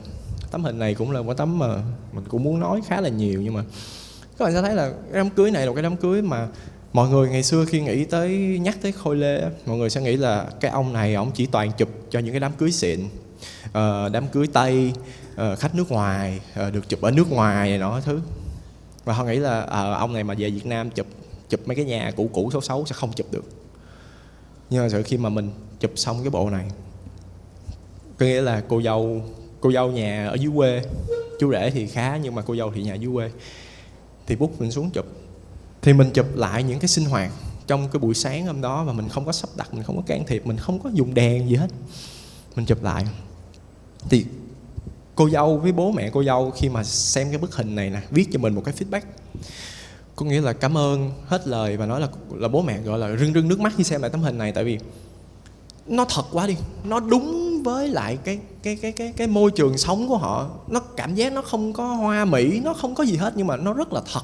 Và ở trong đây nó có rất xuất hiện rất là nhiều những cái gương mặt thân quen trong cái ngày cưới. Nhưng mà tất cả mọi người đều đang làm những cái công chuyện rất là bình thường chứ không phải là kiểu ờ à, người ta đang dòm vô ống kính để người ta chụp. Và cái nhà này thực sự nó cũng có một cái cái cái cái cái kỷ niệm sâu sắc với họ. Tại vì sau đám cưới hình như là dự định là chuẩn bị sẽ đập đi để xây lại căn nhà mới. Thì những cái thứ này có thể là nó không đẹp trong mắt mọi người. Có là ok cho số đông coi người ta sẽ không cảm được người thấy là rất là bình thường. Nhưng mà khách hàng khi mà họ nhận được những thứ này họ họ sẽ rất là thích. Họ vỡ hòa cảm xúc luôn. À, hoặc là những cái tấm nó nó bình thường mình quan sát thấy những cái thứ nó vui vui trong đám cưới và mình chụp lại. Có những cái điểm tương đồng nho nhỏ chẳng hạn. Mình thích thì mình chụp lại. Thì cái style này thực sự mình theo nhưng mà phải nói thật là rất khó để thuyết phục được khách hàng chấp nhận cái style này. Họ vẫn thích cái style của Khôi Lê hồi năm 2017 tới 2019 hơn. Họ vẫn thích những tấm hình nó kịch tính nó nó nó nó nó, nó giàu màu sắc. Cái góc chụp nó lạ nó ạt này nọ thứ à, thì mình vẫn làm mình vẫn làm song song. Nhưng mà mình vẫn luôn hướng khách hàng là đi theo cái style này tại vì càng ngày mình càng thích những cái gì nó nó chân thật. Nó càng thật nó càng tốt. Nhưng mà nó thật nhưng mà các bạn làm sao tìm được cái điểm thú vị trong cái thật thì nó mới hay. Chứ còn mà thật mà ai cũng chụp chụp có thể là nó thật nhưng mà nó coi vô nó chán quá nó không gợi được cảm xúc gì hoặc là những tấm hình nó nó bình thường quá thì thì nó lại không hay không hay. Và cái style này khi mà mình đã chụp được cái style này rồi thì mình có thể mình áp dụng vô, giống như hồi nãy anh nói, chụp gia đình. Chụp ảnh gia đình, chụp ảnh sự kiện, chụp bất kể các thể loại gì, chứ không nhất thiết phải là ảnh cưới. Mình xem nó như, đám cưới như là một cái sự kiện, một cái event gì đó thôi. Và mình áp dụng cái chuyện mà chụp cái này nè, chụp cho tất cả mọi thứ luôn. Tại vì mình đang làm sự thật mà. Mình tới mình chụp gì cũng vậy. Mình không có, mình không can thiệp, mình không sắp đặt. Mình chỉ quan sát, mình tìm cách mình ghi nhận cái cái sự việc trước mặt mình qua cái ống nhìn của mình qua cái máy ảnh của mình. Và một cách mà gọi là là là làm sao cho cái, cái chuyện đó nó vừa thật mà nó vừa thú vị. À, thì đó là ba cái phong cách mà chụp hình trong ngày cưới. Và nếu mà nói đúng mà gọi đúng cái chữ gọi là chụp phóng sự cưới á, thì chỉ có phong cách thứ ba này mới gọi là đúng là phóng sự cưới thôi. Còn phong cách thứ hai dù gì chăng nữa nó vẫn đang gọi là nó mang có hơi hướng nó hơi đưa cái thương mại vô. Có nghĩa là nó đang làm thỏa mãn cho khách hàng cả cái nhu cầu về hình thức và cả cái nhu cầu về là uh, kể chuyện này nó cái thứ ha. Thì nếu mà gọi đúng phóng sự cưới á, thì chỉ có cái phong cách thứ ba mới gọi là phóng sự cưới thôi. Và cái cái mà mình hay nói là ở Việt Nam mình thì là bị là mọi người đang đi theo cái style đầu tiên nhiều quá nhưng mà mọi người vẫn gọi đó là phóng sự cưới. Và lặp đi lặp lại như vậy và thậm chí là nhiều những cái nhân vật nổi tiếng, những cái celeb, những cái người celeb á, người ta thích cái style đó. Tại rõ ràng celeb là những người họ sẽ không có khe tới chuyện là, không, họ rất là quan tâm cái chuyện là công chúng nhìn thấy họ như thế nào. Thành ra không bao giờ họ để cho photo mà tới chụp được những cái gì đó thật quá. Họ luôn luôn xuất hiện với cái vẻ hào nhoáng nhất định. Và đó là lý do tại sao là những cái celeb sẽ rất là thích cái style phai ạt rất là thích cái style đầu tiên. Thích là photo tới là phải chỉ phải sắp đặt làm cái này làm cái kia để tạo ra những tấm hình trông có vẻ là đẹp mắt. Nó hoàn hảo mọi thứ về hình thức ha. Thì uh, phải chấp nhận. Cái đó là chuyện đó là phải chấp nhận. Sự thật nó là như vậy thì nhưng mà hy vọng là sau cái bữa hôm nay về thì những những những những bạn tham gia ở đây có thể có cái có cái góc nhìn khác có thể hiểu được là khi tới chụp cái hình trong ngày cưới nó có style khác nhau nó có nhiều style khác nhau cái phóng sự thực sự nó là như thế nào thì mọi người có thể có thể gọi là có kiến thức để mà mọi, mọi, mọi người tư vấn cho bạn bè hoặc là suy nghĩ sau này đám cưới mình thì sẽ sẽ chụp theo cái cách nào? Hiểu vậy. À, tại vì mọi người thì vẫn đang rất là hầu như các cô gái thì rất là muốn mình là công chúa trong ngày cưới. À, nhưng mà nó có những thứ mà mình nghĩ là sau này khi mà mọi thứ nó kết thúc rồi á mình nhìn lại, mình mới thấy cái hình ảnh nó quan trọng như thế nào. Mình kể cho bạn nghe với câu chuyện. Bạn học viên của mình, có một bạn học viên học một kèm một của mình. Vừa chụp được nói mà gọi là chụp được mà là vừa chụp xong một cái đám cưới. Thì bạn đó học một cái một của mình, thành ra là cũng hiểu cái cách chụp, hiểu cái cách mà gọi là chụp ảnh phóng sự này nọ thứ. Và bạn chụp một cái đám cưới nó rất là đặc biệt là như vậy. Là mẹ của cô dâu bị ung thư và mẹ cô dâu chỉ còn sống tính theo giờ thôi, chứ không phải là tính theo ngày nữa. Và hôm cái đám cưới đó, chiếc xe hoa chở cô dâu với chú rể đi vô bệnh viện thăm mẹ. Mẹ đeo nhẫn cho con gái lần cuối. Xong, kết thúc cái tấm, cái bộ hình đó là cái tấm mà chiếc xe hoa chạy ra khỏi bệnh viện. Thì thực sự là mình xem cái bộ hình đó, mình mình không kìm được nước mắt luôn. Tức là những cái khoảnh khắc mà bạn đó ghi lại những cái tấm hình đó, thì sau đám cưới hôm sau là mẹ cô dâu mất. Đúng hôm sau mẹ cô dâu mất. Thì những cái tấm hình mà bạn chụp được cho cô dâu với mẹ cô dâu á, nó trở thành một cái một cái gọi là một cái tài sản gì đó vô giá luôn. Lúc đó người ta nhìn thấy những tấm hình đó người ta mới cảm thấy trân trọng cái giá trị của hình ảnh chứ không phải là những tấm hình mà nó lung linh, nó nó xa hoa. Những thứ mà nó lung linh, nó xa hoa đôi khi là do mình đang cố mình khoác lên cho mình trong cái ngày cưới. Đôi khi mình vì những cái hệ tư tưởng gì đó mà mình luôn luôn mình muốn là mình phải hoàn hảo trong mắt mọi người, thành ra là mình cố mình khoác lên mọi thứ lung linh, mọi thứ đẹp đẽ trong ngày cưới. Nhưng mà cuối cùng để làm gì? Mình đang mình đang, gọi là quan tâm tới số đông quá nhiều mà họ mà không thực sự quan tâm tới cái chuyện là mình đang muốn cái gì mình đang thực sự nghĩ như thế này. À, thì đó là những cái mà mình có thể chia sẻ cho các bạn trong cái ngày chụp ảnh phóng sự cưới ha. Thì cái hình cái cái nhiếp ảnh gia chụp ảnh cưới nó sẽ khác với lại nhiếp ảnh gia chụp mà gọi là phóng viên hoặc là chụp ảnh đúng phóng sự ừ, chiến trường hay là phóng sự này nọ thứ là ở chỗ là dù là mình đi theo cái phong cách nào á mình vẫn phải có những tấm hình gọi là group shot.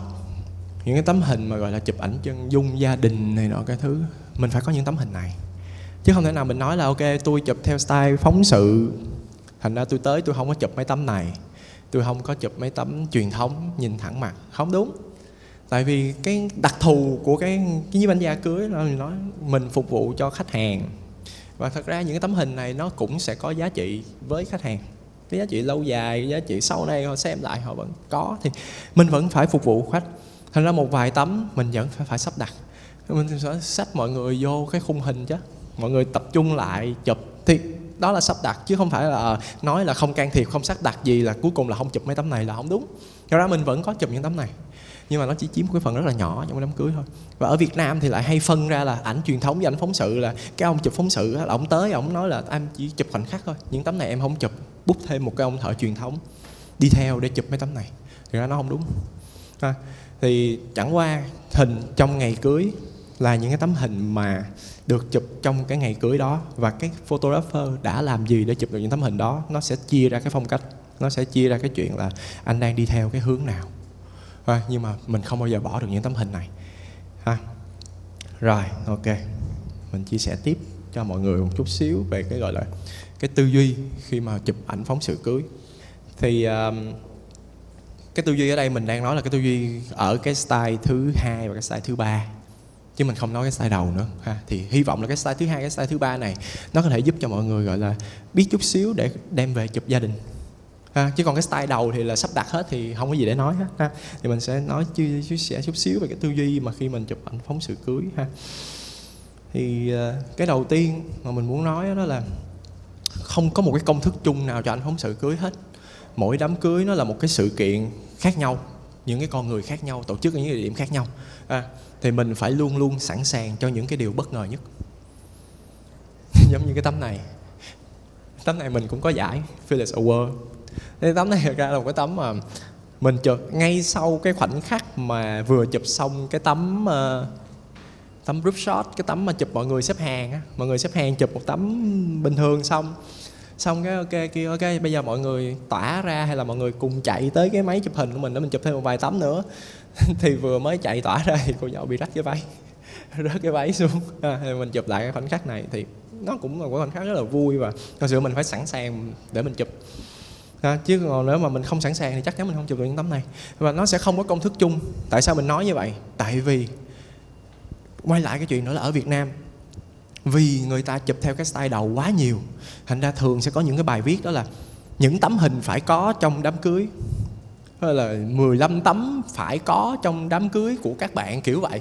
Và họ tự họ liệt kê ra những cái tấm hình mà phải có must have photo. Là những cái tấm mà giống như nãy mình nói chú rể phải đứng kế cửa sổ chuẩn bị chuẩn bị cô dâu phải treo cái váy lên mẹ cô dâu phải tới thắt nơ cho cô dâu hay là uh, bố chú rể tới ôm con này nọ những tấm hình phải có. Rồi cái đó không đúng. Cái là cuối cùng các bạn đang tạo ra cuối cùng là đám cưới nào cũng giống đám cưới nào à.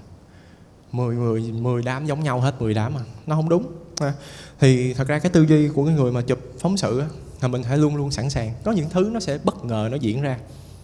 Mình có sẵn sàng hay không? Mình có cái lúc đó cái máy của mình nó có sẵn sàng có trên tay mình hay không? Ha. Rồi. Một cái ý thứ hai đó là cái việc chọn lựa vị trí và cái thời khắc mà mình bấm máy á, nó là hai thứ quan trọng nhất giúp cho chúng ta có những bức hình nó hoàn hảo hơn. Vì sao? Tại vì cùng một cái sự kiện như vậy anh nào chọn vị trí tốt hơn sẽ có những cái khoảnh khắc nó diễn ra mà chỉ cần mình có mặt đúng cái thời điểm đó là mình đã thắng người ta rồi. Và làm sao để mình chọn được cái vị trí tốt? Nó là cả quá trình nhưng không phải thế nào mà chỉ nói là ờ tôi sẽ vô tôi chọn vị trí tốt. Như thế nào là vị trí tốt? Làm sao bạn biết được bạn sẽ đứng đâu? Làm sao bạn biết được là cái gì sắp sửa xảy ra để bạn chụp? Nó là cả một cái quá trình nó phải học, phải trau dồi rất là nhiều và phải là cùng một cái tình huống đó. Trước khi mình bấm máy, trước khi mình tới mình chụp, mình đã đứng, mình phân tích rất là nhiều thứ để mình chọn ra được coi mình sẽ đứng ở vị trí nào để mình chụp. Và khi mà mình chọn được cái vị trí tốt rồi thì cái thời khắc mà mình bấm máy nó cũng quan trọng không kém đôi khi cái thời khắc bấm máy nó chỉ chênh nhau có mấy sao thôi chứ đừng nói là là nửa giây hay là một giây là hai bức hình nó khác nhau hoàn toàn rồi. Tại vì trong nhiếp ảnh nó có những cái giống như là những cái ánh gọi là lead in eye cái ánh mắt nó nhìn ánh mắt liếc nhìn hoặc là một cái khẽ chạm tay chạm hoặc là những cái mà gọi là decisive moment nó chỉ là nó, nó tích tắc thôi. Thì cùng cái hành động đó mà cái anh bấm máy đúng thời điểm, cái tấm hình ra nó luôn luôn đem lại nhiều cảm xúc cho người xem hơn là cái anh mà bấm sai thời điểm. Mặc dù có thể cả hai đã ở cùng một cái vị trí, nhưng mà tại vì mỗi cái hành động, mỗi cái sự kiện này nó đều có cái, nó đi theo cái cái sơ đồ vậy nè. Nó nó luôn luôn có cái gọi là cái cao trào trong bất kỳ cái hành động cái sự vật nào sự việc nào luôn luôn có một cái cao trào và anh nào giỏi hơn hay không dở hay dở hơn là ở việc là anh có bấm được ở ngay cái cao trào hay không. À, và cái chênh lệch giữa cái cao trào với lại cái chưa tới cao trào nó chỉ xê xích nhau có mấy sao thôi chứ đừng nói là một giây. À, thì uh, hai cái thứ này là hai cái thứ quan trọng nhất. Cùng cái sự vật đó cùng cái sự việc đó tất cả mọi người đang ngồi đây cái anh chụp hay, anh có thể đứng chọn cái vị trí mà anh chụp được toàn cảnh, trả lời được câu hỏi là ai, ở đâu, bao giờ, như thế nào.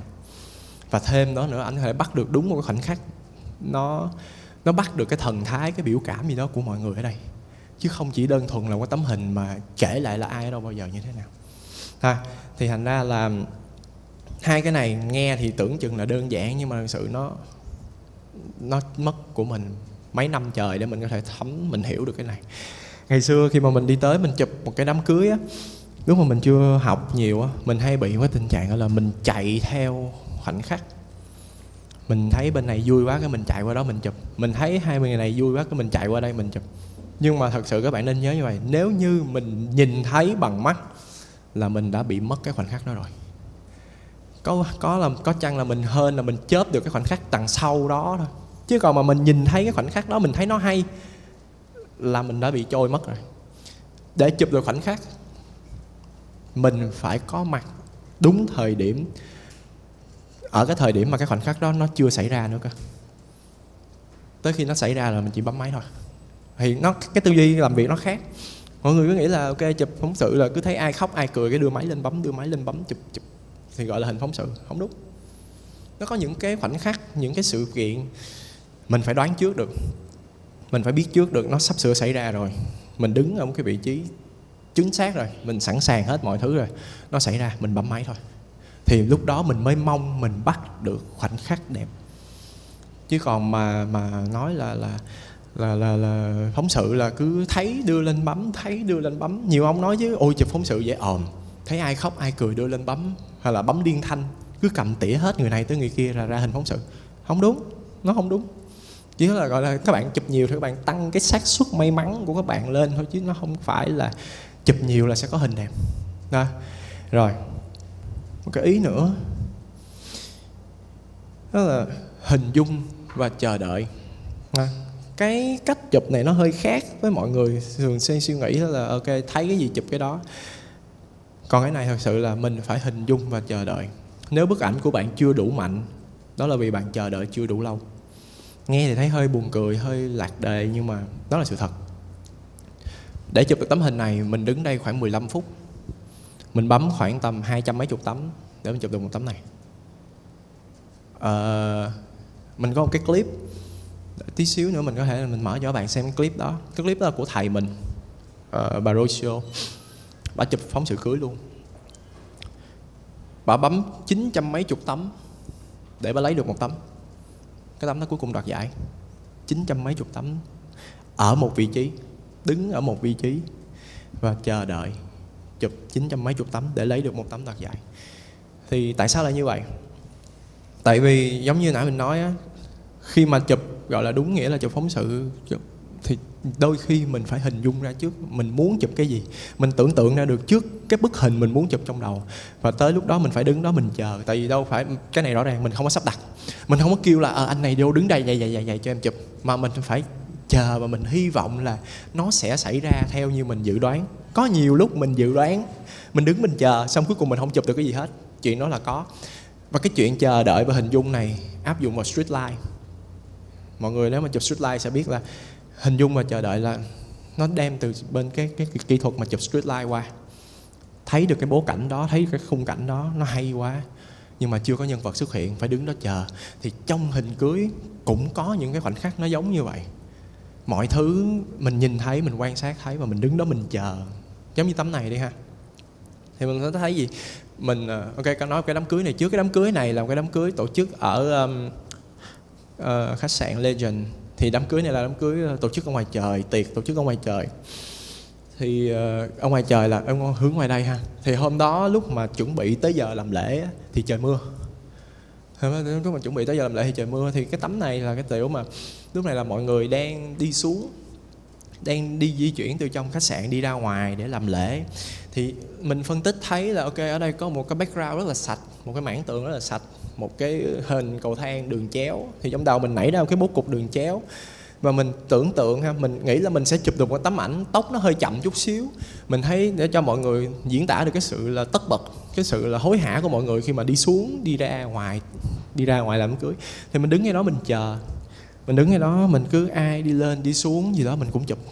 Trong đầu mình chỉ tự mong là sẽ có một cái tấm mà kiểu hoặc là sẽ mọi người tấp đập đi lên, đi xuống, hoặc là mọi người sẽ đi rất là đều trên cái cầu thang này để ra một tấm hình.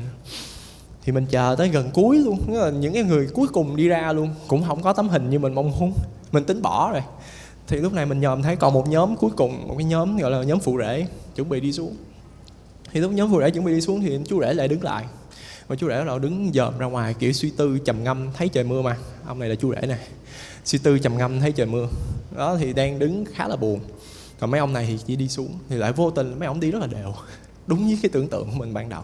Và khi ông đi xuống tới đây thì có ông quay lại dòm mình có ông lại quay lên dòm chú rể. Thì nó ra một cái bức hình nó khá là thú vị. Và để có tấm hình này mình đứng đó khoảng 15 phút. Mình chờ mọi người đi xuống hết. Mình cứ bấm bấm bấm bấm bấm bấm như vậy. À, thì có nghĩa là cái tấm hình sau này mình đi học nhiều mình biết là đôi khi mình phải chậm lại trong khi chụp phóng sự mình phải chậm lại. Mà phải đứng ở một cái vị trí nào đó nó nó đủ lâu thì mới hy vọng là mình sẽ chụp được những tấm hình nó nó độc đáo hơn. Ngày xưa thì mình cứ nghĩ là ok cứ chạy đi đi di chuyển càng nhiều càng tốt. Ờ, chụp càng nhiều càng tốt. Nhưng mà càng về sau này mình chụp càng ngày càng chụp ít lại. Mình dành thời gian để mình suy nghĩ nhiều hơn mình suy nghĩ mình tưởng tượng ra trước cái khung cảnh nhiều hơn và mình sẽ chụp. Ha. Rồi. Cái kiến thức này có thể áp dụng vô chụp gia đình với chụp street life ha. Rồi một cái vui nữa đó là cái the best way to invisible is always be there. Nghĩa là trong cái hình phóng sự đó, làm sao để mình hòa nhập vô cái đám cưới người ta để mình chụp được? À, thì này mình cái hình minh họa là vui thôi. Nên là mình chụp từ ngoài chụp vô leo lên từ ngoài chụp vô. Nhưng mà thật sự á, là như vậy. Để mình chụp được những cái tấm ảnh mà gọi là giàu cảm xúc hoặc là khiến cho người xem có thể uh, cảm lại được cái không gian cảm lại được giống như là mình đang hiện diện trong cái sự vật sự việc đó đó thì khi chụp mình phải thật sự mình hiện diện trong cái sự vật sự việc đó có nghĩa là không phải là mình đứng xa xa mình lấy cái lens tele mình chụp mà là mình phải dùng cái lens wide mình đứng ngay ở trong đó. Mình có thể là mình đứng kế bên cô dâu lúc mà người ta đang làm lễ nọ thứ hoặc là mọi người trong nhà như thế nào mình vô mình ngồi trong cái nhà đó mình chụp. Thì rất là nhiều bạn wedding photographer đặt cho mình câu hỏi là làm sao để cho khách hàng người ta cảm thấy thoải mái với cái sự có mặt của mình? Người ta không có ngại ống kính. À, thì các bạn sẽ thấy là mình rất là bự con mà tại sao mình chụp được những tấm hình mà mọi người rất là thoải mái? Có như là không, tưởng giống như là không có mặt mình ở đó. Thì cái cách tốt nhất mà để mình trở nên tàn hình khi mà chụp phóng sự là là mình luôn luôn mình có mặt ở đó. Một tí nữa người ta sẽ quên sự xuất hiện của mình. Khi mà mình muốn tham gia, mình chụp một cái sự vật, sự việc nào đó, thay vì mình đưa máy lên mình chụp liền hoặc là mình núp núp ở đâu, mình lấy tele mình chụp á, thì mình khoan chụp đã mình tham gia vào cái sự vật sự việc đó đang, mọi người đang tấp nập chuẩn bị đúng không? Mình vô mình phụ một tay. Mình giả bộ mình sớ rớ mình đứng mình phụ một tay. Hoặc là người ta đang nấu ăn trong bếp đúng không? Mình vô đó mình đứng mình nói chuyện. Trước khi mình đóng máy là mình chụp mình đứng mình nói chuyện mình hỏi thăm về mọi thứ. Khi mà bắt đầu họ quen với sự xuất hiện của mình rồi á bắt đầu lấy máy ra mình bấm từ từ à thì lúc đó mình mới chụp được. Một lúc nữa họ sẽ quen. Có thể là mới lấy máy ra, người ta cũng sẽ dè chừng. Người ta sẽ né né né né. Nhưng mà nếu mình lì, mình đứng đó đủ lâu, người ta sẽ quên sự xuất hiện của mình luôn. Người ta sẽ quay lại công việc của họ. Và đó là cái tip mà để cho mình có thể chụp đời thường, chụp bất cứ cái gì. Là thật sự tham gia vào cái đó. Ở lì ở đó, chai mặt ở lì ở đó thì một tí nữa họ sẽ quên cái sự xuất hiện của mình. Và đó là cái thời điểm mà mình mình bấm mình chụp chứ không phải là mình vô cái mình mình, mình bấm mình, mình chụp liền. Hoặc là giống như nhiều ông thì cứ nghĩ là đó lấy uh, chụp phóng sự là lấy tele lấy lên tele đứng xa xa tỉa tỉa tỉa tỉa tỉa tỉa. Thì cứ mỗi lần mà xuất hiện cầm cái máy thấy tỉa tỉa cái lần ta thấy người ta là người ta né hết trơn à. trong khi sự chụp phóng sự đôi khi bạn phải sử dụng lên wide và bạn phải thực sự bạn ở trong cái sự vật sự việc đó thì bạn mới mới mới mới có thể chụp được. Ha. Một cái uh, chia sẻ nữa đó là không quan trọng bạn giỏi cỡ nào, bạn biết nhiều bao nhiêu để trở thành một người chụp ảnh phóng sự giỏi. Cái việc mà mình cần làm là tập luyện tập luyện tập luyện và chấp nhận thất bại để ngày càng có những quyết định chính xác hơn. Tại sao lại như vậy? Tại vì như mình nói đó, đôi khi mình phải tưởng tượng ra trước tấm hình, mình phải chọn được cái vị trí. Mà đôi khi mình chọn vị trí cuối cùng mình là sai nghĩa là nó không có gì xảy ra hết. Tự nhiên mình mất 10 phút 15 phút mình đứng ở một chỗ, mình chụp cuối cùng không được gì hết thì phải làm sao? Thì thật sự không thể nào mà đem áp dụng vô đám cưới của khách được. Nếu mà mình đi, mình mình đi chụp phóng sự cưới của khách mà lúc đó mình chưa đủ tự tin nha, mà mình cứ đứng mình chờ chờ chờ chờ, xong cuối cùng trôi qua hết khoảnh khắc không được tấm hình nào hết, thì cái đó là mình ăn mình ăn cho hết.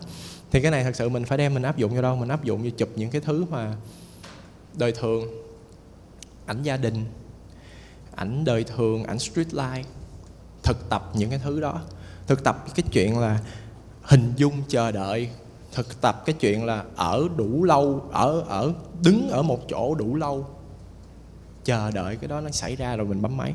Thì sau này khi mà mình đi, mình mình mình sẽ càng ngày mình sẽ càng có những cái quyết định nó chính xác hơn. Khi mình chụp trong đám cưới vậy lần đầu mình có thể mình đứng đó mình chờ, không có gì xảy ra. Lần thứ hai mình chờ, không có gì xảy ra. Thì lần thứ ba mình sẽ biết là ok, mình không cần chờ chỗ này nữa. Mình đi mình chờ cái khác tại thực ra đám cưới nó là một cái mô tiếp lặp đi lặp lại. Nó có sẵn một cái sườn. Nghĩa là nó dễ ở chỗ là nó có sẵn cái timeline.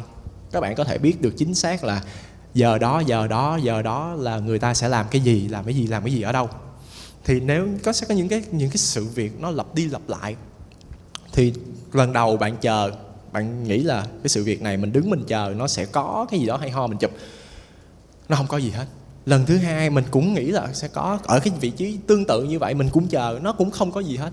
Thì đương nhiên tới lần thứ ba mình sẽ tự biết là ok cái này bỏ qua không chờ nữa. Và cái chuyện này nó là một cái quá trình mà mình phải tập, thực tập rất là nhiều mình phải chụp rất là nhiều gọi là thực hành nhiếp ảnh rất là nhiều thì mình mới càng ngày mình càng đưa ra được những cái quyết định chính xác hơn. Thì khi đó mình sẽ tăng cái xác suất chụp được những tấm hình mà nó mang tính kể chuyện hay là nó giàu cảm xúc hơn tại vì cuối cùng là sao? Chọn vị trí thời khắc bấm máy ha. Thì mình phải tập tập tập. Chứ thật sự á nhiều bạn cũng tham gia những cái workshop về ảnh phóng sự của mình. Thì cái ảnh phóng sự của mình khi mình chia sẻ mình chia sẻ rất là nhiều thứ về kỹ thuật về đủ thứ hết. Mà nó là lý thuyết. Thì nhiều người mong là học xong cái về là sẽ lột xác liền sẽ chụp um, xịn hơn liền. Không có đâu. Tại vì những cái lý thuyết đó nếu mà áp dụng một cách máy móc là không được tại vì thực sự khi mà bạn đi ra thực tế bạn chụp các bạn tới thời điểm mà bạn chụp các bạn không thể nào ngồi suy nghĩ coi là bây giờ mình sẽ chụp bố cục gì à, sử dụng tiêu cự gì hay là ở cái thời điểm này ông khôi ông chỉ mình là sẽ đứng dậy hay là sẽ sẽ dùng cái cái cái cái, cái tiêu cự này sẽ ok? Không có. Tại vì khi mà bạn tới cái đám cưới mà bạn còn suy nghĩ những cái thứ đó thì chắc tất cả những khoảnh khắc nó sẽ trôi qua trước mặt bạn. Tất cả những cái thứ mà mình chia sẻ nó đều đòi hỏi một cái chuyện là mình phải thực hành chụp chụp chụp rất là nhiều. Đương nhiên là không phải là chụp cưới không, mà các bạn có thể áp dụng vô chụp ảnh gia đình, chụp ảnh đời thường. Như là bây giờ nếu như bạn nào mà yêu thích cái cái cách mà chụp phóng sự các bạn có thể sắm cho mình một cái máy máy nhỏ, máy record hay gì đó, và thử chụp lại những cái sinh hoạt hàng ngày ở nhà mình đi. Những cái sinh hoạt hàng ngày ở nhà, bố mẹ, con này nọ cái thứ, những cái sinh hoạt hàng ngày, mình chụp thử để mình biết coi là, ok, như thế nào là một tấm hình mà nó mang tính kể chuyện, như thế nào là một tấm hình mà được chụp khi mà người ta không để ý tới, như thế nào gọi là candid moment.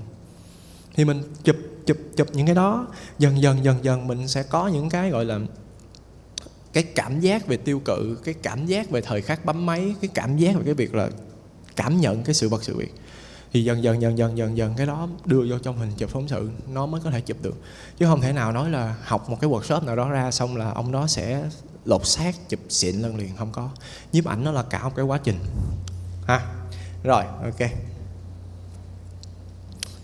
Một cái chia sẻ cuối cùng và đó là về cái năm cái cái cái cái sai lầm mà những cái bạn wedding photographer thường hay mắc phải mà mình nghĩ là những người mới chụp ảnh những người chụp ảnh bình thường cũng hay mắc phải luôn, ha.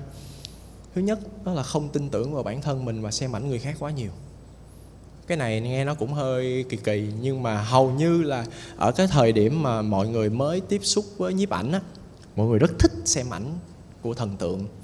Mọi người sẽ có những cái người gọi là idol, và mọi người sẽ xem ảnh những người đó, xem đi xem lại, thậm chí là sale hình của những người đó về máy để cố chụp ra những tấm hình nó giống như vậy thật sự bản thân mình ngày xưa khi mình mới bắt đầu chụp ảnh cưới, mình làm y chang luôn. Có nghĩa là mình biết cái trang Philips, nãy mình nói Philips Photographer, mình lên đó mình xem. Thì mình thấy có những tấm hình nó đẹp quá đi, nó ẹt quá, thích quá, sale vào trong máy, bỏ vào trong máy, xong rồi đi chụp cho khách đó cái lấy ra coi. Xong rồi bắt khách là làm theo giống như vậy, hay là mình cố, mình ép người ta chụp theo giống những cái tấm hình đó. Nhưng mà suốt suốt 2 năm trời mình làm theo cái cách đó. Có nghĩa là thay vì xem những cái ảnh của những người ở trong nước thì mình xem ảnh của photo quốc tế xem ảnh những cái tấm hình mà đoạt giải như vậy đó. Và mình, uh, mình gọi là photocopy. Mình mình áp dụng những cái đó vô cho khách của mình và có thể thời gian đầu nó lạ nó mới lạ nó thu hút được khách.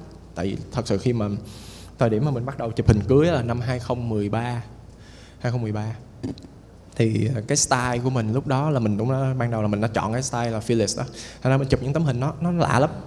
Thì có thể là thời điểm đó khi mình mình mới xuất hiện nó là cái gì đó nó nó nó, nó một cái món lạ thành ra là mọi người thích mọi người ủng hộ. Thì cũng có thời điểm mà gọi là mình chụp được nhiều show.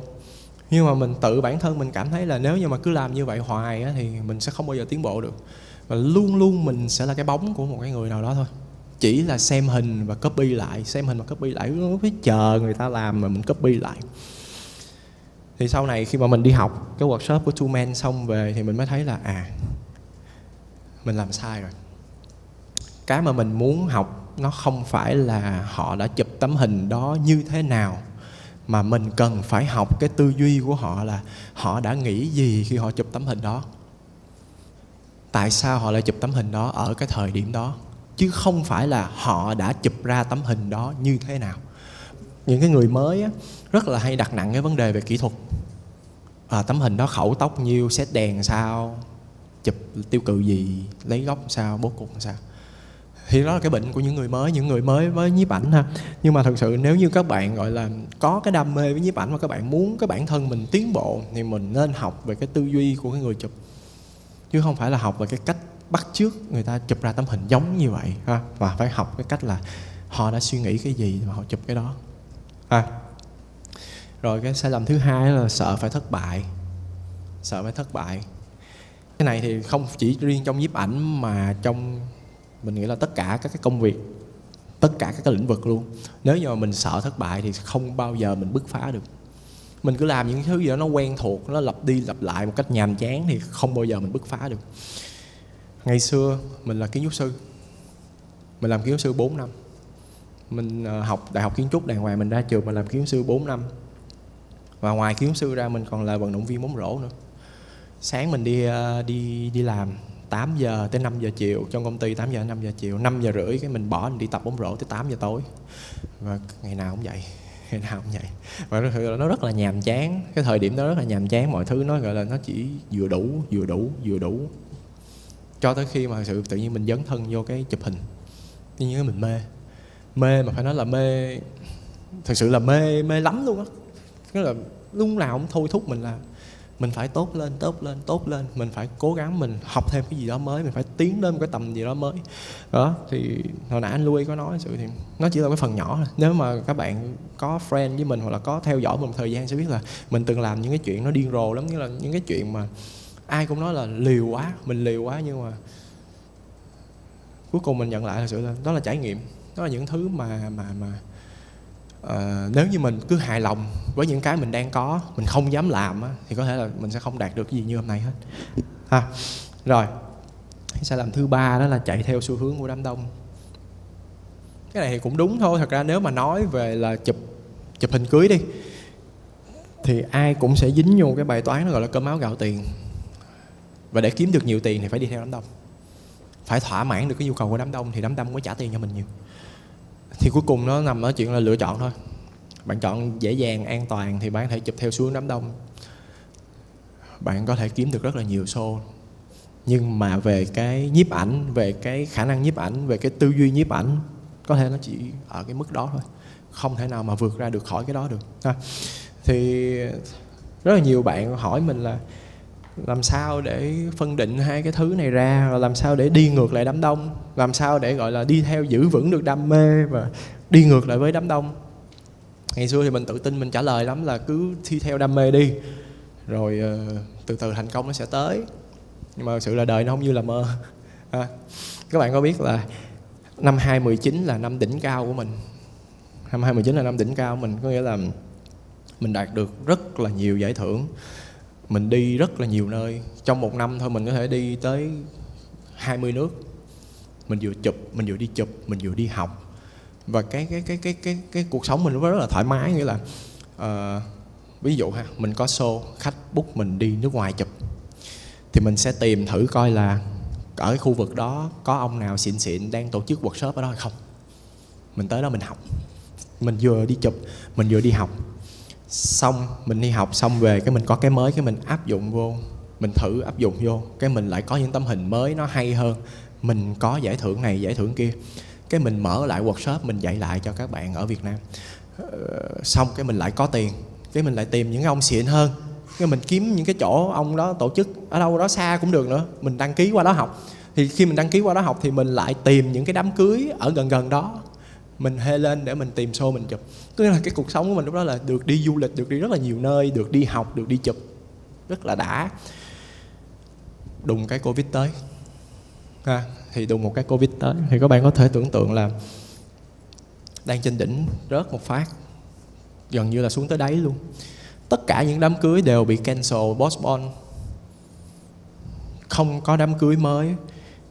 Không có hình ảnh mới để bia không có giải thưởng mới không có đám cưới thì sẽ không có giải thưởng. Cũng không học được một cái gì mới luôn cũng đâu có đi học ai được nữa đâu. Thì các bạn ở trong nước thì cũng thấy là ờ à, không có gì mới hết không học nữa. Có nghĩa là tất cả những nguồn thu nhập gần như là bị bị chững lại luôn bị đảo lộn hoàn toàn đảo lộn hoàn toàn.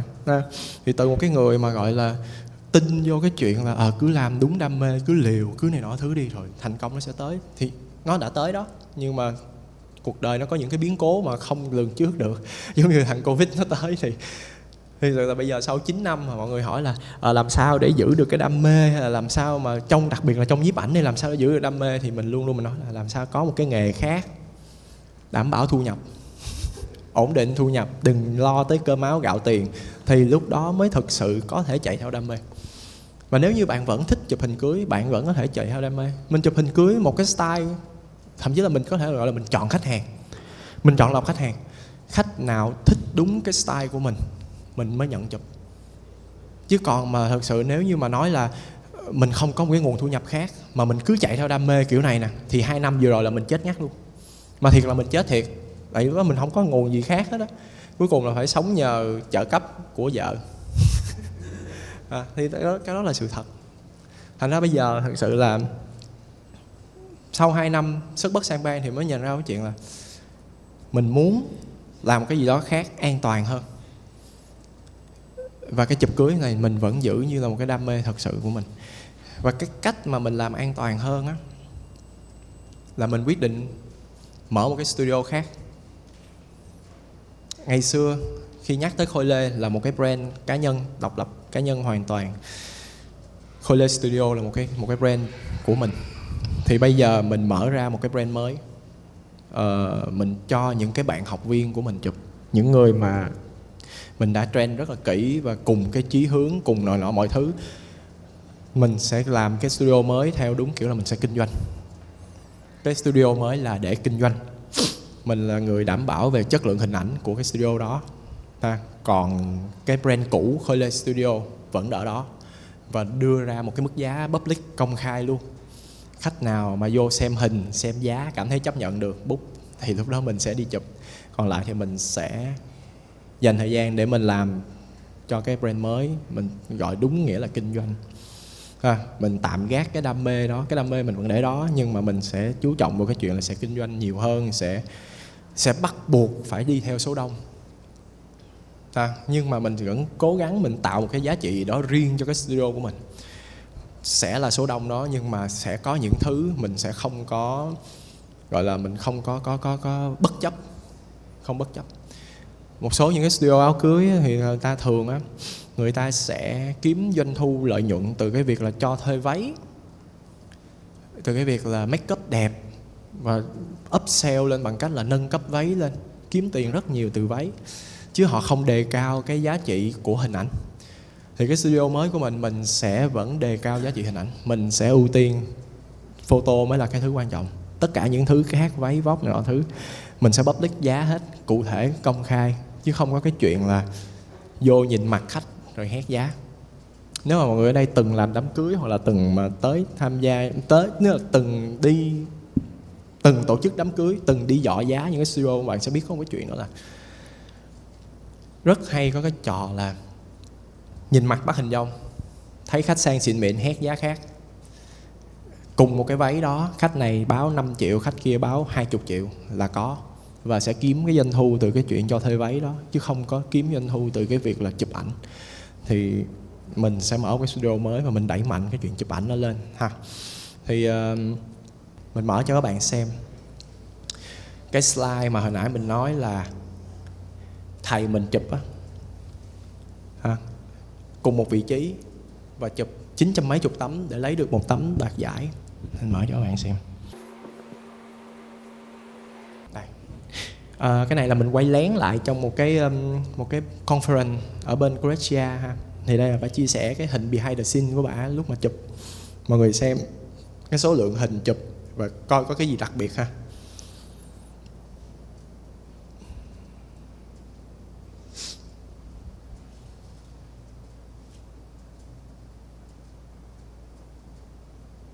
đương nhiên là những cái tấm mà dừng lại là những tấm mà, gọi là, có thể lấy được và giao cho khách.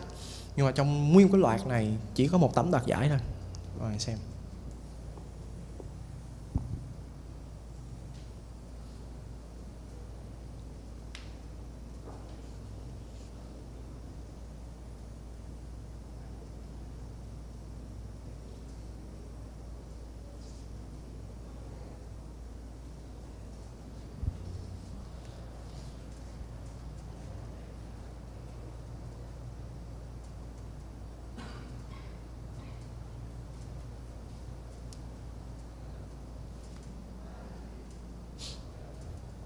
này gần gần tới cái tấm đoạt giải này để mình tới cái tấm đoạt giải mình sẽ dừng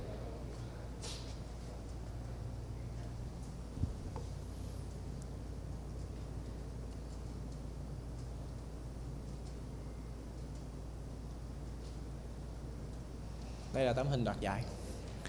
Tấm hình đoạt giải của bạn. Sorry, cái chất lượng ở đây nó hơi tệ. Nhưng mà ngày xưa khi mà mình xem cái tấm hình này đoạt giải, mình nói, trời má bà này bà hên quá và xuất hiện đúng lúc quá và chụp sao khoảnh khắc mà kiểu là cái tấm hình này có layer nghĩa là có lớp lan những cái nhân vật này nọ kết nối lớp lớp lớp. Và cái ánh nhìn của thằng bé này nhìn qua đây rồi ánh nhìn dưới đây nhìn lên đó là cái cái tấm hình nó rất là chặt về bố cục rồi lớp lan khoảnh khắc. Nói trời bà này bà hên quá sao bà, bà xuất hiện được đúng cái thời điểm này mà bấm máy chụp? Thì cho tới khi mà mình mình mình mình đi dự cái workshop của bà mình biết là bà ở đó bà chụp chín trăm mấy chục tấm để bà có tấm hình này. Có là khi bà bước vô cái phòng đó bà phân tích hết mọi thứ và bà chọn một cái vị trí. Bà leo lên đó bà ngồi luôn. Bà leo lên đó. Bà, bà có tấm hình bị hai the xin vui lắm. Bà leo lên trên cái cái cái cái cái cái cái cái kệ đầu giường á. Bà leo lên đó bà ngồi. Xong rồi thỉnh thoảng bà bước xuống bà chụp cái xong bà lại leo lên đó bà ngồi. Bước xuống bà chụp nó các bạn xem các bạn sẽ thấy là hầu như bà không có di chuyển. Bà không có phải kiểu là chạy vòng vòng nữa bà chụp. Mà chỉ đứng ở chỗ đó thôi. Thì kiểu mọi người ở trong này dần dần sẽ là quen quen với sự xuất hiện của bà ở đó. Và bắt đầu bà cứ chụp chụp chụp chụp chụp chụp rồi cuối cùng bà chụp được tấm hình này. Nghĩa là bà phân tích hết mọi thứ về ánh sáng về bố cục về tiêu cự bà chọn và bà quyết định là bà sẽ ở đó. Sau đó bà chụp bà chụp rất là nhiều tấm. Thì là bà lấy được tấm hình này và tấm hình này là tấm hình đoạt giải ha thì bà chụp rất là nhiều nhưng mà các bạn nghĩ là những cái tấm hình đôi khi mà các bạn nhìn thấy những tấm hình mà mình chụp đi những tấm hình mà các bạn xem trong cái slideshow những tấm hình mà mình đoạt giải mọi người có thể nghĩ là ờ, có thể là ông này ông hên hay là ờ, ông có mặt đúng cái thời điểm ông bấm mà không phải thật sự nó là cả một cái quá trình. Và để mà mình mình chụp được cái tấm hình đó là mình phải chụp rất là nhiều chờ đợi rất là nhiều. À, ok à, sẵn ở đây còn thời gian thì là mình sẽ giới thiệu chút xíu về cái cái bộ ảnh mà nãy mình có nói đó là cái bộ ảnh mà family documentary. Đây là ba cái bộ ảnh mà mình chụp cho cái ờ, cái dự án family documentary ha. Thì uh, mình tới mình chụp từ lúc mà mới mở mắt ngủ dậy luôn mới ngủ dậy là mình đã xuất hiện ở đó mình chụp rồi. À, và mình ghi lại những cái những cái sinh hoạt hàng ngày những cái những cái việc làm rất là đời thường của hai hai mẹ con này ha. Thì có những cái nó đó. Thì những cái tấm hình này có thể nó không có lung linh nó không có đẹp nhưng mà nó rất là có ý nghĩa với cái cái cái, cái hai mẹ con này ha. Và mình xem lại mình vẫn có thể hình dung được là ok một cái ngày của của hai đứa bé à, của của của của một cái đứa bé này nó sẽ như thế nào? Đến trường như thế nào? Chơi với bạn bè như thế nào? Và mẹ mình thì như thế nào ha?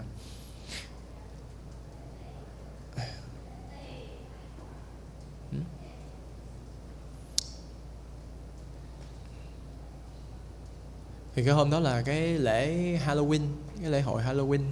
À, xong rồi tối đó về thì là có một cái sự kiện nữa là bé này nó đi tập cái vật lý trị liệu.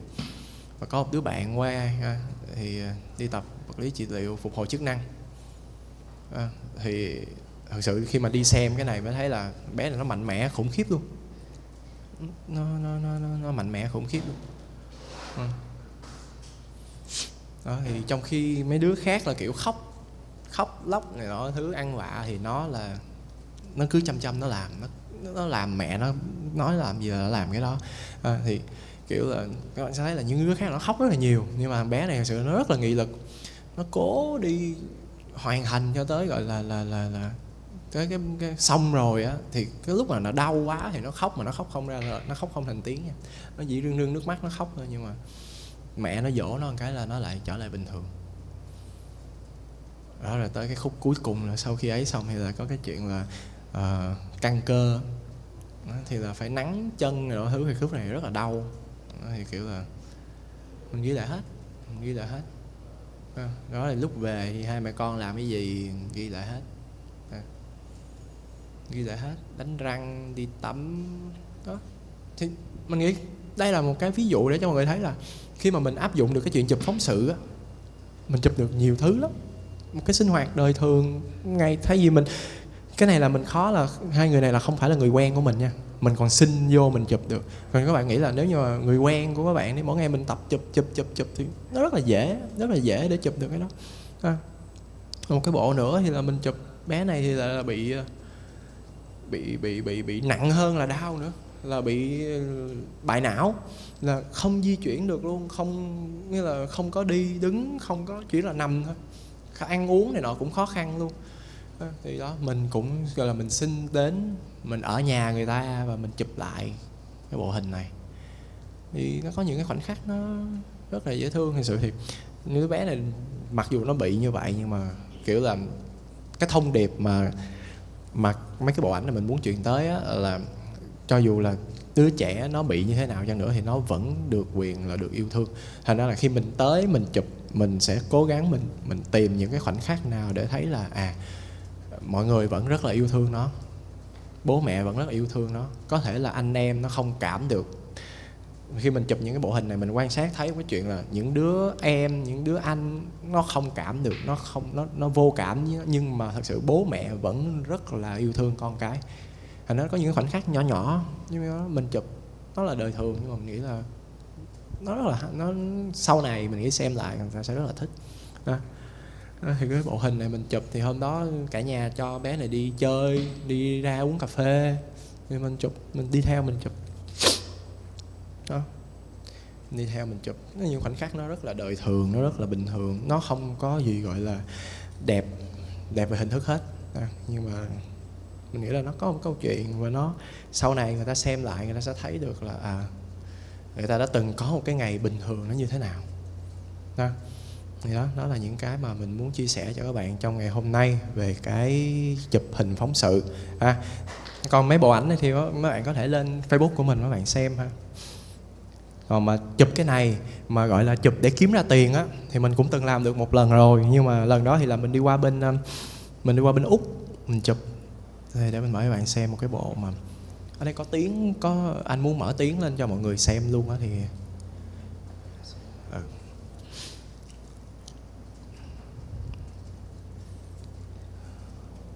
Nè, mình đã từng đi chụp gọi là uh, kỹ yếu ha. Nhưng mà kỹ yếu theo kiểu phóng sự. Nó khác hoàn toàn với lại những cái hình kỹ yếu mà mọi người nghĩ.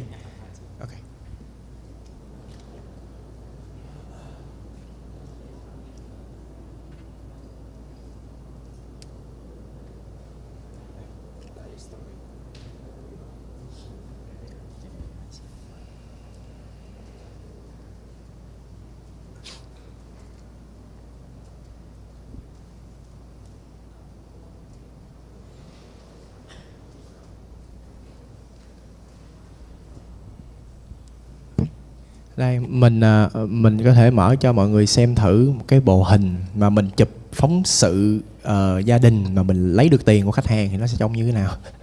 Đây nè mọi người xem thử nha hình mà mình chụp kỹ yếu kỹ yếu mình cũng chụp cái kiểu rất là khác.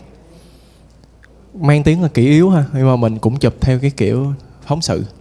Đúng đậm cái chất phóng sự và không có dàn dựng không có sắp đặt gì hết cái này rõ ràng là mình có post video mình sao kỳ vậy ta? Không có anh. Daily story này cái này rõ ràng là là em có một cái video trong đây mà không biết sao giờ bấm vô lại không thấy nữa. Fit view.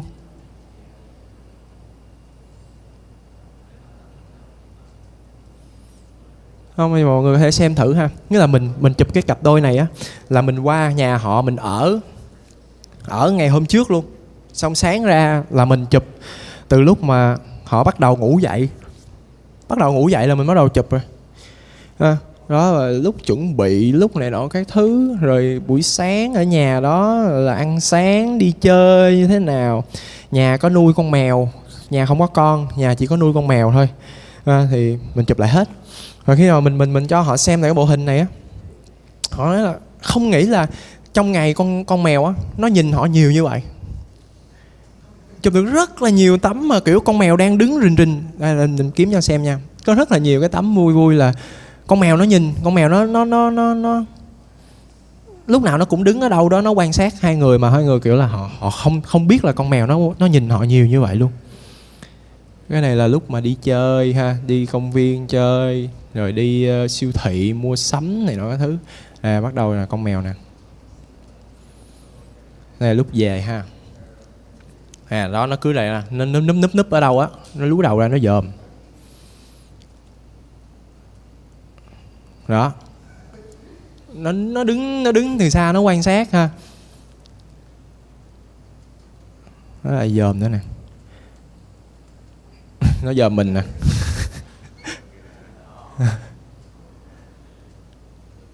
À, lúc hai người này tập thể dục nó cũng đứng nó dòm.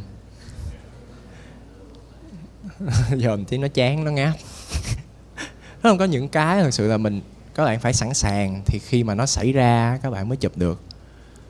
À, còn mà nếu mà các bạn không sẵn sàng thì lúc nó xảy ra các bạn đâu có chụp được. À, còn nữa nó nhìn nó nè nè nè đây đây đây nè đây nè. Nè thấy không? Nè nhìn nè. Đó. Nó cứ nó cứ me me me me nó nhìn. Hai người này làm gì nó cứ me me nó nhìn nó ờ, hầu như là hồi ho đó là không nghĩ là con mèo này nó nhìn mình nhiều như vậy. À, nữa nè đó tối nè. Và thậm chí là tối đi ngủ là nó nó vô nó ngủ chung luôn. Thì mình chụp tới cái đoạn là nó chui vào phòng ngủ nó ngủ mình bấm xong tấm này thì mình đóng máy. Thì đó là một cái gọi là uh, family documentary đó là như vậy nghĩa là mình tới mình mình mình mình mình ghi lại những cái gì mà nó nó nó nó nó xảy ra thôi một cái ngày cuối tuần hết sức bình thường giản dị thôi ha. Thì đó mình tới mình ghi lại. Thì cái cái cái này nó nó hơi khác với là chụp hình cưới. Mọi người nghĩ là uh, hình cưới là nó nó chỉ có vậy vậy vậy. Nhưng mà hôm nay mình nghĩ là mọi người có thể có một cái nhìn khác. Khi mà nói về chụp phóng sự nó không đơn thuần chỉ là chụp phóng sự cưới. Nó có thể là chụp phóng sự bất kể những cái sự kiện gì ha. Đây hình ờ, hình hình hình hình ờ, kỷ yếu mình cũng chụp kiểu đó luôn. Nên là đó tất cả mọi thứ là mình chụp theo cái style là phóng sự nghĩa là khi mình tới mình sẽ quan sát và mình tìm ra những cái điểm thú vị trong cái cái, cái những cái bình thường xảy ra và mình chụp lại. Ha rồi ok. Mọi người à, tới phần giao lưu đi ha. Mọi người có câu hỏi gì không? Mọi người có thể đặt câu hỏi với mình. Dạ rồi ok mời anh. À, cảm ơn khôi rất là nhiều. Vì uh, khôi cho anh và mọi người thấy được cái giá trị của nhiếp ảnh nó đối với cuộc sống nó tình cảm như thế nào. Thì uh, hôm qua có một bạn nhắn tin ở trên P House bạn uh, rất là tiếc vì hôm nay kẹt không đến được cho nên là gửi câu hỏi. Bởi vì rất là hâm mộ anh uh, anh Khôi Lê. Mà lâu rồi chưa thấy P House mở lớp nào hết. Thì uh, uh, bạn nó hỏi là anh ơi bây giờ em ờ, em ờ, mới bắt đầu ờ, nhiếp ảnh thôi, nhưng mà em rất là thích chụp ảnh cưới. Thì anh có thể cho em một cái lộ trình về những cái môn em cần học để mà em có thể chụp đẹp giống như anh được không? Dạ rồi, ok. Ở đây có ai có ý định là trở thành wedding photographer giống mình không ạ? Mình trả lời luôn. Ồ oh, bé này. Em này chắc cấp 2 ha. Em học lớp 2 cấp cấp 2 đúng không? Ok. Không sao. Định như là tìm nghề ở gì gọi là là định hướng nghề nghiệp từ sớm thì cũng tốt không sao. À, ok. Rồi cái câu hỏi này là cái câu hỏi mà em nghĩ là cũng khá là nhiều người đã từng đặt rồi ha. Thì uh, nó có một cái điều như vậy nè. Khá là đáng buồn đó là cái ngành mà chụp hình cưới á, nó chưa bao giờ được công nhận là cái ngành nào đó hàng lâm bằng chứng là không có bất kỳ một cái trường đại học nào trên thế giới này mở một cái chuyên ngành gọi là chụp hình cưới hết. Nếu có nó chỉ là một cái một cái tính chỉ nào đó nhỏ trong cái cái cái cái cái cái, cái khoa nhiếp ảnh thôi. Các cái cái nhiếp ảnh khác nhiếp ảnh thời trang uh, nhiếp ảnh sản phẩm commercial nhiếp ảnh báo chí đều có đều có những cái khoa đều có những cái ngành để đào tạo hết còn khi mà nát đến chụp ảnh cưới tự nhiên họ có thể là họ đánh giá thấp hoặc là họ nghĩ là ờ cưới dễ thành ra là họ không có đào tạo bài bản. Thì bởi vì nghề xưa khi mà mình quyết định là mình bỏ hẳn cái nghề kiến trúc sư để mình chuyển qua mình chụp ảnh cưới á thì thì thì ở nhà phản đối rất là ghê gớm. Nghĩa là mọi người đều có một cái định kiến đó là chụp hình cưới là một cái nghề gì đó nó hơi gọi là hơi bèo. Nếu mà đưa ra cái bàn cân so sánh à, cái chờ mà chính xác là như vậy nè tại sao mày lại bỏ mày đang làm ông kiến trúc sư? Mày đi bỏ ra là làm thằng thợ chụp hình. Nó hơi nặng nha nhưng mà ngày xưa mình từng nghe như vậy. Đánh giá là cái nghề kiến trúc sư là ông kiến trúc sư Mister. Còn tại sao làm chuyển qua thằng thợ chụp hình? Cái là chụp hình là cái gì đó nó, bị coi thường lắm kìa. Thực sự là như vậy khi mà mình mình mình chuyển qua mới làm thì mình bị nghĩa là bị phản đối ghê lắm thì uh, vì mọi người ở đây không phải là trong ngành trong ngành cưới nhiều thành ra mọi người có thể ít biết tới mình. Nhưng mà mình là cái người mà từ 25 26 là rất là gọi là gọi là chia sẻ rất là rất là nhiều và kiểu là kịch liệt phản đối cái chuyện là coi trọng coi, coi nhẹ cái nghề nhiếp ảnh. Và mình luôn luôn cố gắng gọi là thay đổi cái nhận thức đó thay đổi cái hình ảnh của những cái người chụp ảnh cưới trong mắt tất cả mọi người. Cái cách mình làm là sao? Là mình rất là chú trọng tới cái việc ăn mặc tới cái việc là đi đứng khi mà xuất hiện trước mặt. Khi mình đi làm mình sẽ mặc đồ như thế nào? Mình đi làm mình có thể mặc vest mình đi chụp. Tức là mình xây dựng một cái hình tượng là rất là chuyên nghiệp chứ không phải là ờ à, nghĩ là chụp hình cưới là mấy cái ông mà rớt đại học hay gì đó đi học nghề mấy năm rồi ra chụp hình cưới. Thì vì là mình ý thức được cái chuyện là giá trị hình ảnh mình ý thức được cái chuyện là đám cưới hầu như là đời người chỉ có một lần mình rất là trân trọng những cái hình đó. Thành ra mình nghĩ là cái công sức cái chất xám mà cái cái anh thợ chụp hình cưới làm vì một cách đúng nghĩa bỏ ra trong cái ngày cưới nó nhiều không có khác gì là kiến trúc sư hết. Và thật sự để chụp tốt hình cưới mình phải học rất là nhiều. Thì cái lộ trình là như thế nào? Bắt buộc thứ nhất phải học những cái thứ nhiếp ảnh cơ bản. Ít nhất anh phải làm chủ được cái máy ảnh đã. Anh phải biết là khẩu tốc iso như thế nào thuần thục được cái máy ảnh đã. À, rồi sau đó xác định rõ cho mình được cái phân khúc khách hàng hoặc là cái hướng đi nào mà mình muốn mình muốn chụp theo cái style nào. Tại vì hình cưới, như nói, mình nói nó có rất là nhiều style, nó rất là nhiều cái trường phái ảnh cưới khác nhau. Thì mình xác định rõ coi mình muốn đi theo cái trường phái nào và mình mình sẽ tìm những cái người gọi là tốt nhất ở cái trường phái đó. Đang chụp tốt nhất ở trường phái đó mình đi học. Cái quan điểm mình ngày xưa là vậy nghe không? cứ tìm top học thôi. Và tìm những người gọi là người thật việc thật chụp là phải có sản phẩm, chứ không thích là những anh mà chỉ nói học thuật không. Tại vì nãy mình nói rất rõ là các bạn không không cần biết các bạn giỏi bao nhiêu, các bạn biết nhiều bao nhiêu, nhưng mà cái hình cưới là nó nằm ở chỗ các bạn thực hành nhiều bao nhiêu. Rồi thêm một cái nữa, đó là mọi người rất là coi thường cái việc trau dồi cái kỹ năng mềm của wedding photographer. Wedding photographer không phải chỉ là biết chụp hình không mà phải có những cái kỹ năng mềm. Kỹ năng mềm ở đây là gì? Kỹ năng giao tiếp và tương tác với khách hàng. Các bạn làm sao các bạn đi chụp cho người ta các bạn nói chuyện với người ta người ta đặt niềm tin cho các bạn. Các bạn làm sao cho người ta cảm thấy thoải mái? Người ta xem mình là bạn bè thì lúc đó mình mới chụp tốt được.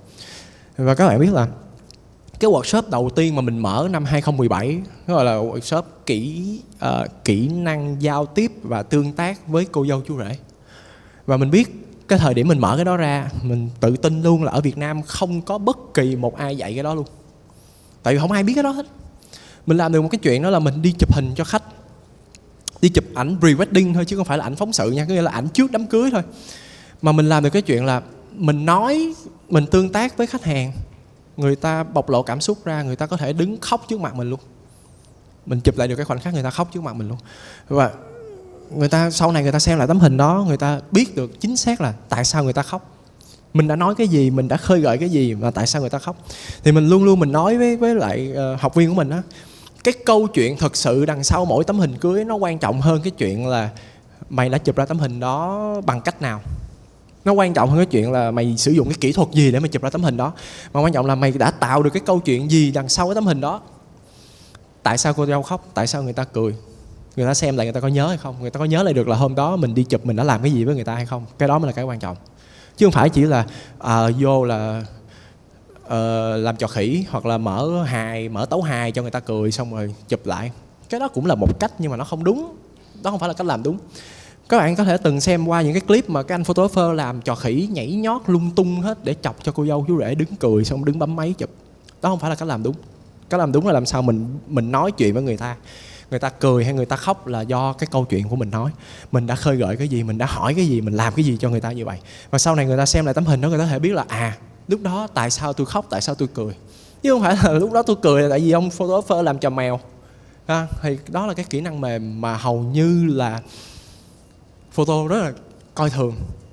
Họ bỏ qua cái chuyện đó họ không nghĩ là à, photo phải cần phải biết cái đó. Trong khi thật sự mình nhận thấy cái chuyện là photographer giỏi ăn nói uh, giỏi ăn nói và có kiến thức, xã hội có những cái gọi là kiến thức ở nhiều lĩnh vực khác nhau á, rất là có lợi. Tại khi mình đi gặp khách hàng á, họ sẽ cảm thấy là, ô, ông này không phải là photo không, mà ổng gọi là rất là đáng tin cậy, hoặc là ổng có thể là, mình có thể đặt niềm tin cho ông này nhiều hơn. Ông này ổng thú vị quá, ổng biết nhiều thứ quá. Mình nói ra cái gì ổng cũng biết, mình có kiến thức để mình nói với người ta người ta sẽ không coi thường mình. Tại vì hầu như là, ban đầu là như mình nói đó, mặc định người ta coi thường là photo là những cái người mà có thể là uh, học cấp 3 xong rồi đi học nghề. Nghĩ là photo là cái nghề mà chỉ cần học 3 tháng ra là có thể biết chụp hình. Rất là nhiều người nghĩ như vậy nghĩ là ok vô tìm một cái tiệm nào đó đóng tiền vô đó học 3 tháng ra là sẽ làm thành thợ chụp hình. Là vô đó 3 tháng cuối cùng đi sách đồ cho cái ông chụp chính rồi ông chỉ cho cái cách sử dụng máy này nọ thứ rồi bô dáng này nọ thứ rồi về mở tiệm. Nó sai nó rất là sai. Nói sự nếu như mà bạn gọi là quan tâm tới cái nghề này và có đam mê thì nên học một cách đúng đắn, học những thứ đúng đắn từ những người mà, gọi là, có có kiến thức và có trải nghiệm thực tế. Ha, rồi thêm một cái nữa là đừng có coi nhẹ cái việc là kỹ năng mềm, đừng coi nhẹ cái việc là xây dựng hình ảnh cá nhân.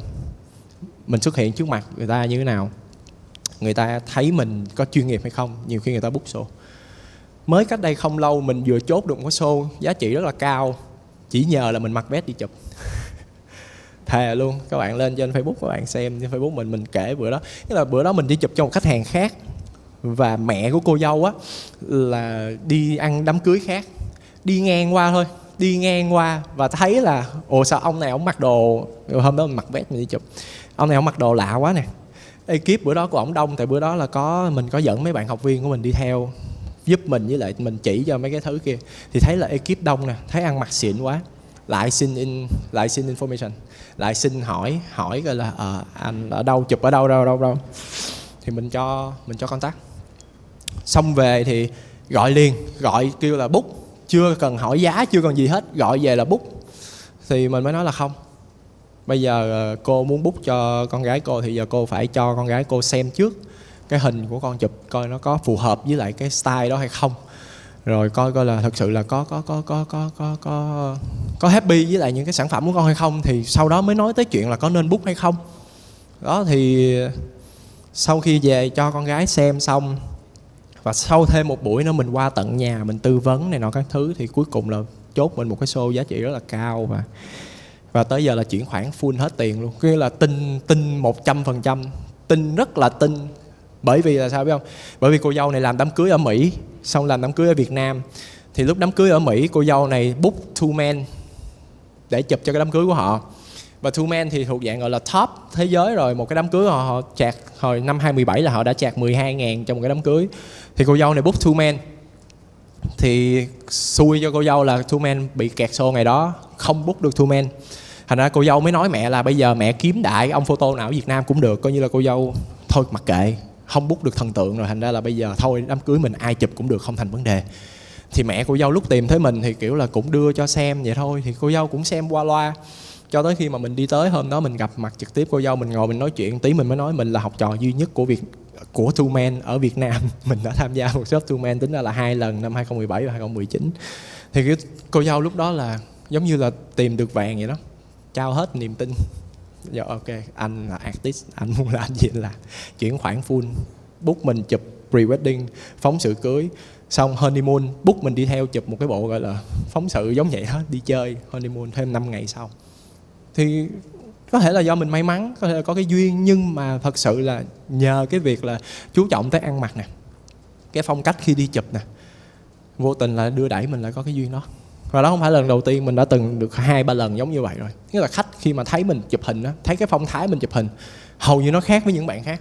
Mình không có kiểu là chạy chạy chạy chạy chạy chạy chạy đi chụp hay là lăn xăng lăn xăng. Mình rất là từ tốn, khoan thai đi từ từ, tại vì sao? Mình nói là mình phải quan sát, mình phải quan sát hết mọi thứ, xong rồi đưa ra cái cái quyết định là sẽ đứng đâu chụp. Thành ra khi đi chụp mình mình quan sát rất, đi di chuyển rất là nhẹ nhàng và đôi khi mình có thể mình đứng kế bên người ta mình chụp, người ta cũng không biết nữa. Thật ra là khi mà mà mà có những khách hàng người ta nhìn thấy cái cách làm việc đó và họ bút mình chỉ vì như vậy thôi. Ngày xưa ngày xưa em đi chụp em cũng trải qua rất là nhiều giai đoạn nghĩa là thời gian đầu cũng ờ, quan tâm tới thiết bị lắm. Rồi là cũng sắm đủ tiêu cự full tiêu cự từ 16 cho tới 200 là full tiêu cự hết. Thì càng ngày càng ngày càng đi học nhiều thì càng tinh giản tinh giản tinh giản lại. À, và cuối cùng khi mà chọn ra được cái cái cái cái style mà mình thích rồi thì em tinh gọn lại hầu như em sử dụng có hai tiêu cự thôi. Đó là 28 và uh, một cái lens tele. Tele đó thì có thể là 70 200 85 hoặc là 50 tùy. Và cái lens mà em sử dụng nhiều nhất tới thời điểm này em nghĩ là lens 28 lens 28 yeah dạ. còn những cái tấm mà ngày xưa ở cái thời điểm mà em chụp uh, cái style của Two Man á cái style mà nó hơi kịch tính ờ, mọi thứ nó cao trào lên á thì là em sử dụng 1635, 1635. tại vì cái lens càng wide nó sẽ càng tạo ra kịch tính nhiều hơn. Thì em dùng lens wide em áp sát em tạo kịch tính thì tới bây giờ thì em đi theo cái cái cái, cái hướng nó phóng sự nó đúng chất phóng sự thì em thích cái 28 tiêu cự 28 và em đi chụp bây giờ thì em cầm một con Leica Wii và em đeo thêm một cái máy có tele nữa. Đó thì thường là như vậy. Ok mời em. À, em có câu hỏi là à, nếu như anh chụp à, 10 cái đám cưới đi thì trong 10 đám cưới đó là cái phong cách chụp của anh có giống nhau không? Hoặc là nếu như mà khác biệt đó, thì làm sao được anh tạo được sự khác biệt của 10 bộ, bộ ảnh đám cưới đó? Ok, cái câu hỏi này rất là hay ha. Thật ra cái hình ảnh của mình nó có thay đổi nhưng mà nó thay đổi theo thời gian rất là dài. Chứ không phải là mình chụp 10 bộ là mỗi ngày ờ, một cái phong cách khác nhau. Mình sẽ giữ cố định một cái phong cách, một cái style mình chụp ở một cái khoảng thời gian nhất định nào đó. Và sau khi mình học được một cái gì đó mới hoặc là mình update được một cái kiến thức gì đó mới mình có thể mình thay đổi. À, thì mỗi cái đám cưới á nó khác nhau như thế nào là thật sự là bản thân từng cái đám cưới nó đã khác biệt rồi. Thành ra nếu như chụp theo đúng cái style mà gọi là là phóng sự á thì mỗi một cái bộ ảnh nó sẽ có những cái điểm khác biệt khác nhau. Ví dụ như có những cái đám cưới khách mời và cô dâu chú rể là những người rất là năng động họ rất là giàu cảm xúc họ gọi là họ bùng nổ. Thì cái đám cưới đó mình chụp sẽ rất là nhiều những khoảnh khắc mà gọi là bùng nổ cảm xúc như vậy. Nhưng mà sẽ có những cái đám cưới có thể là người ta hơi kín hơn trong cái việc là thể hiện tình cảm hoặc là cái cách người ta thể hiện nó nhẹ nhàng hơn. Mình vẫn chụp như vậy mình vẫn chụp mình thể hiện lại được đúng cái tính cách cái, cái tấm hình nó như vậy. Chứ chứ còn gọi là về về về về bố cục hoặc là về về tiêu cự hoặc là về màu sắc là hầu như mình giữ cố định cho tất cả cái đám cưới luôn. Chỉ là đám cưới bản thân họ như thế nào, mình sẽ chụp ra được như vậy. Và cái đám cưới đó nó giàu cảm xúc, hay là nó trầm lắng, hay là nó vui tươi, hay là nó buồn gì đó, là tự bản thân cái đám cưới đó. Mình chỉ làm nhiệm vụ là mình ghi nhận lại thôi, và mình tìm những cái thứ nó hay ho trong cái đám cưới đó. Sẽ có những cái đám cưới nó hơi buồn, thật sự. Ví dụ như chụp đám cưới Việt Nam. Mà nói thật là chụp đám cưới Việt Nam rất là khó. Rất là khó khó hơn chụp đám cưới cho người nước ngoài rất là nhiều. Lý do tại sao? Lý do là vì người nước ngoài, người ta được dạy cái chuyện là con cảm thấy như thế nào thì con bộc lộ cảm xúc ra. Từ bé nó đã như vậy rồi. Họ yêu thương là họ sẽ nói, họ yêu thương, họ họ họ quý mến ai là họ sẽ ôm, họ rất là dễ dàng, họ khóc hay là thứ.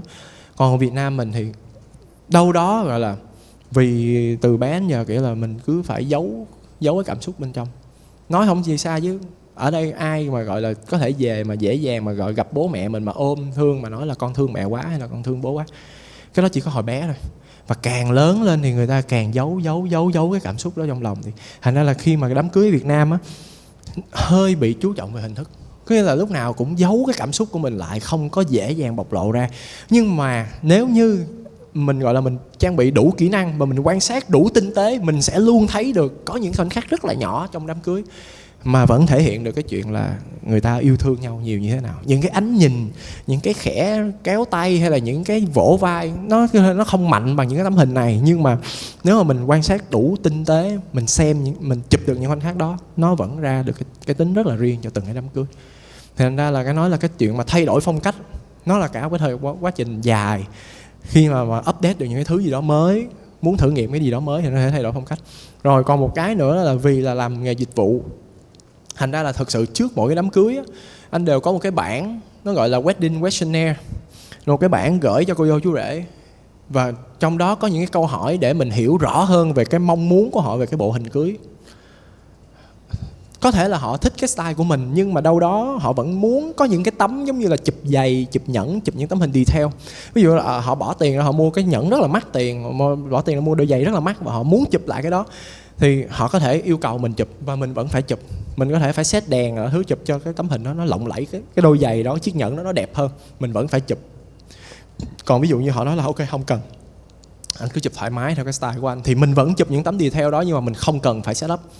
Có nghĩa là có thể mình để ý thấy lúc mà họ mang giày vô chẳng hạn mình có thể mình ngồi sát xuống mình chụp đôi giày đó không hoặc là mình nhìn thấy cái nhẫn của họ cái tay họ đang làm gì đó mình tới mình chụp sát vô mình lấy cái nhẫn. Chứ không nhất thiết là mình phải mượn đôi giày mượn chiếc nhẫn ra ngoài setup chụp thì cái đó sẽ tùy vô từng cái đám cưới, tùy vô cái, gọi là, cái mong muốn của cô dâu cô dâu chú rể. Thì cái đó mình sẽ làm việc trước khi mình chụp.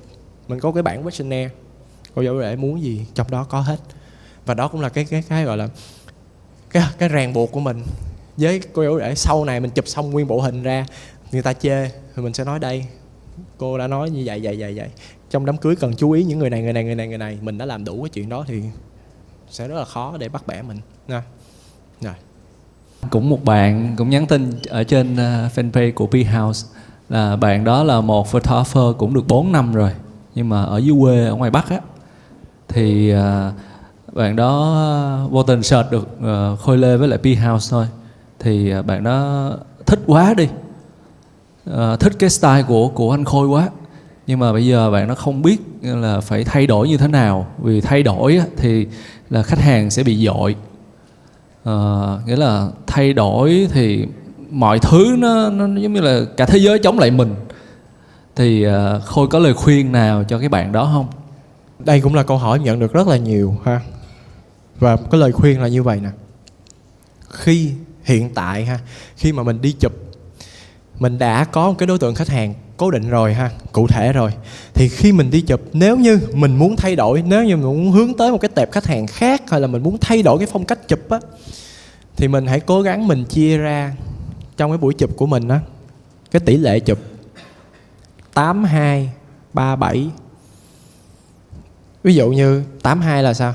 Mình sẽ chụp cho khách hàng hiện tại của mình 8 phần. Và đâu đó mình sẽ chụp những cái tấm mà mình thích, bản thân mình thích hoặc là cái style mà mình đang mong muốn mình hướng tới đó. Mình hãy tận dụng cái cơ hội được đi chụp mỗi cái đám cưới đó. Mình dành thời gian để mình chụp thêm cho bản thân mình, chụp thêm cho những cái khách hàng trong tương lai mà mình muốn á, những cái tấm hình đó.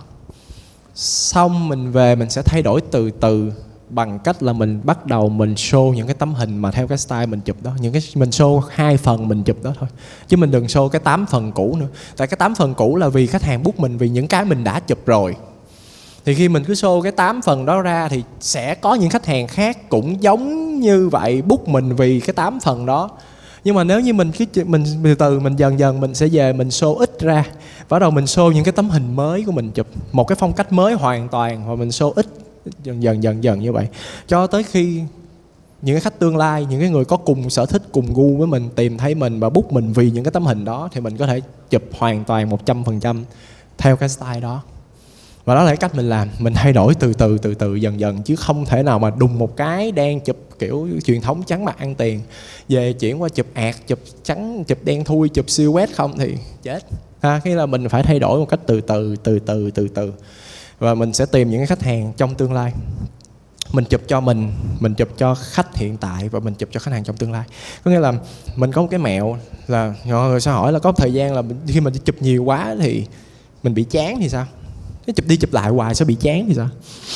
Thì mình có cái mẹo đó là mình sẽ chụp hoặc là 721 chứ không phải là chụp mà gọi là 73 hay là 82 nữa. 731 là sao? 7 721 là sao? 7 phần cho khách hàng hiện tại hai phần cho khách hàng tương lai và một phần cho chính bản thân mình. Có nghĩa là mình tới đó, mình có thể mình thấy thích cái gì, mình chụp cái đó. Không nhất thiết mình sẽ giao cho khách hết tất cả những thứ mình đã chụp. Có những thứ nó làm cho mình cảm thấy thích thú. Mình cứ chụp đó đi. Mình để làm một cái gì đó riêng mình, của riêng mình. Giống như ngày xưa có cái giai đoạn là tự nhiên mình bị chán á. Xong cái mình tự đặt ra cho mình là mỗi một cái đám cưới mình sẽ chụp một cái cử chỉ chân gì đó hay ho thay vì là cử chỉ tay thì mình sẽ quan sát những cái bàn chân. Thay vì mình quan sát hết mọi thứ rồi mình để chân tay của mọi người mình chụp lại những tấm hình đó. Và những tấm hình đó có thể là mình giữ riêng cho bản thân mình thôi. Nó là cái mà làm cho mình cảm thấy vui mỗi lần cầm máy đi chụp. Nếu như mình cảm thấy là cái việc chụp nó bị nhàm chán nó lặp đi lặp lại. Ha thì uh, cái này mình học được từ một cái cô wedding photographer uh, người Ả Rập. Mình không nhớ chính xác tên của cô đó. À, nhưng mà cái cô đó cũng là như vậy. Cổ đi chụp đám cưới bên Ả Rập. Thì cứ mỗi đám cưới như vậy, cổ chụp những cái đá, những cái tấm bình thường cho khách. Sau đó cổ chụp riêng những cái tấm chân dung phụ nữ Ả Rập. Cổ giải riêng ra. Và sau bao nhiêu năm đó, cổ collect lại, cổ mở một cuộc triển lãm nói về thân phận người phụ nữ. Thì cái đó không phải chỉ là hình cưới không, mà tự nhiên nó thành một cái bộ hình tư liệu, một cái bộ hình documentary, một cái project ảnh cá nhân mà được thực hiện xuyên suốt trong bao nhiêu năm trời collect mỗi một cái đám cưới, một cái chân dung phụ nữ nào đó và cuối cùng là sau một cái thời gian dài làm thành một cái bộ triển, một cái bộ sưu tập triển lãm. Thì đó cũng là một cái cách để biến cái việc là chụp hình cưới nó từ nhàm chán thành một cái thứ gì đó nó nó thú vị. Yeah. ok anh. Hết giờ. Ok, à, cảm ơn tất cả mọi người đã ngồi với mình tới cái thời điểm này luôn ha. Thì hy vọng là những cái mà mình chia sẻ trong ngày hôm nay nó đem tới một cái nhìn gì đó mới cho mọi người về cái việc là chụp hình phóng sự, phóng sự cưới ha. Và hy vọng là có thể sẽ gặp lại các bạn trong những cái talk show hay là những cái podcast gì đó trong tương lai. okay. cảm ơn các bạn.